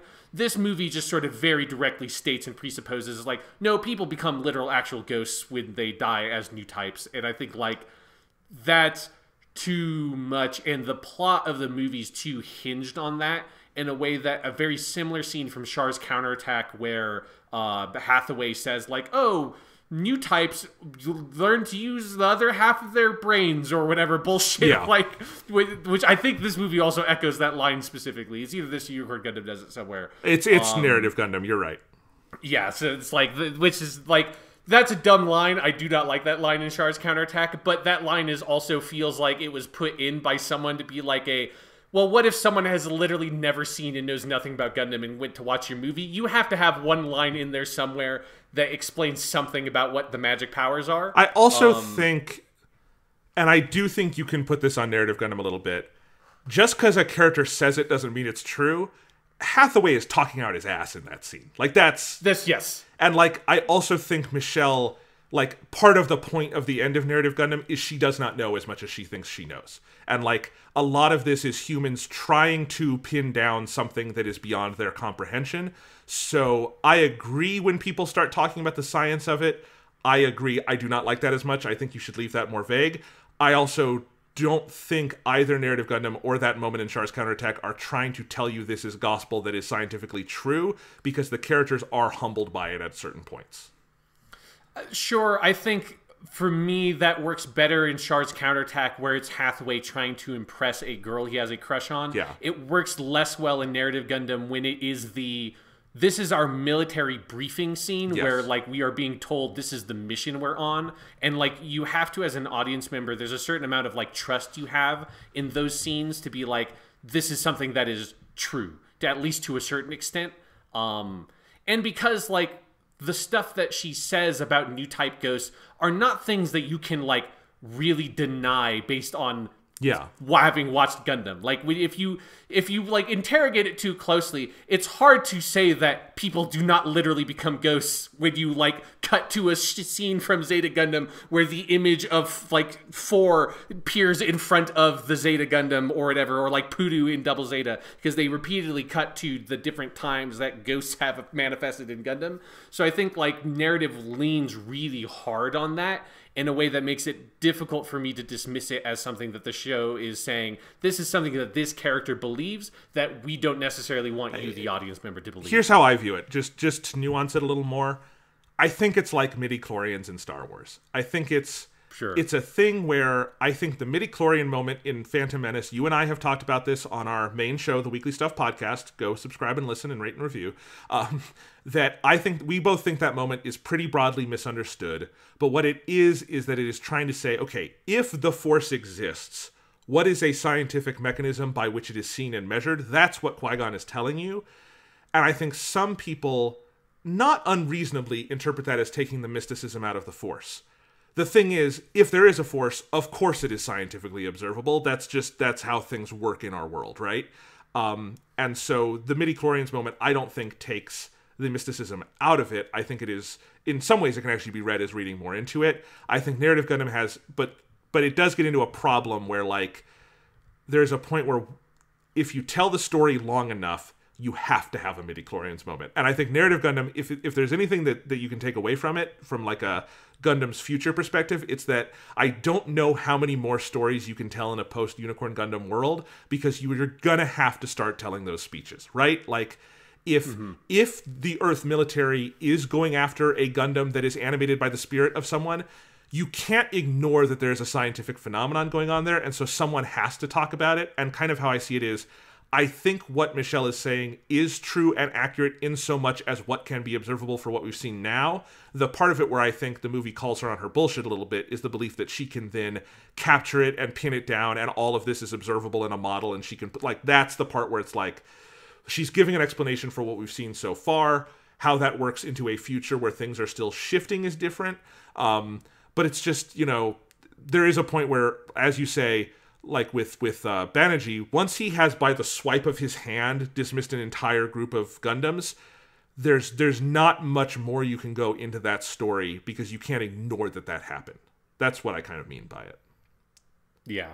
So, so yeah, it's it's again like I I don't think that it like just that that element destroys narrative Gundam. It's just one of those things where it's like man, if you cut out probably about like 70% of this speech, it would work fine for yeah. you. Like you it's it spends so much time and again, it's like the repeated cutting to scenes we've seen from older Gundam shows that yeah. have the new type stuff in it is like uh, you're you're trying too hard for it. It's you know, which is the Phantom Menace thing with the midichlorians is like a pretty one-off scene that is just two characters sitting down and talking. It's not as like produced as yeah that that sequence in the middle of this movie is. Yeah, and it's not my favorite part of narrative Gundam. My favorite part of narrative Gundam is the last 15 minutes. I think the closing fight is really good, and then the sequence where Yona is like summoned into the astral plane or whatever you want to call it, and meets Michelle and Rita again. And there's a insert song played there called Cage that I have not been able to stop listening to because it is such a fucking amazing song. And I think that moment of of him seeing his friends, them all accepting death, thinking about the next step, and then he gets pulled back into the real life by Banagher, who comes in for a cameo at the end. That moment really gets me. It's part of just you put a good song and some powerful images together, you will get me every time. I'm very synesthetic that way. Uh, but then I do also like the way Banagher comes in at the end and you know, Yona is very despondent because he's lost everyone he ever cared about and Banagher in something we did not talk about. He kind of has a weird catchphrase in that he's constantly yes. saying in Unicorn Gundam the words "sore demo," which they translate. You can translate that in a bunch of ways, but it's like, um, what? How do they translate it? I've only thought of it as uh, I even so. Even so, so it's like they, yeah. it's yeah. So it's it's him constantly like say like someone will say something to him like Zinnerman or Full Frontal will say something about like to the effect of like we shouldn't try to change this thing. We shouldn't try to for like the optimal solution or like for like the optimistic approach because the world isn't that like soft young boy or yeah. whatever you know and kind of like stamp him down a little bit. And then every time they do that he says so de demo. Like b- even so like even if what you're saying is true that doesn't mean we shouldn't yes. try to push for the optimal solution. And that's kind of his catchphrase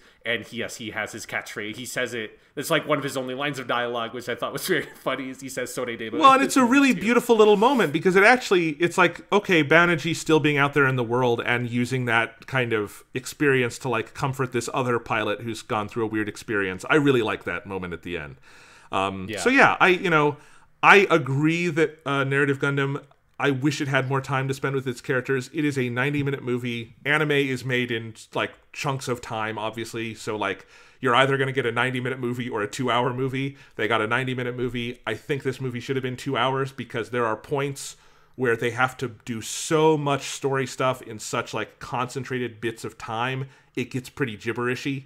And like, I understand it now having watched the movie and thought about it, but I do think a two hour narrative Gundam would be a stronger version of itself um, but I still liked it, and I would recommend it. Um, but it definitely it is not at the same level as as Unicorn necessarily. Although it does have Hiroyuki Sawano doing the music again. The music is amazing. There's another insert song called uh, Vigilante that plays during the first battle in the movie that is just fucking great.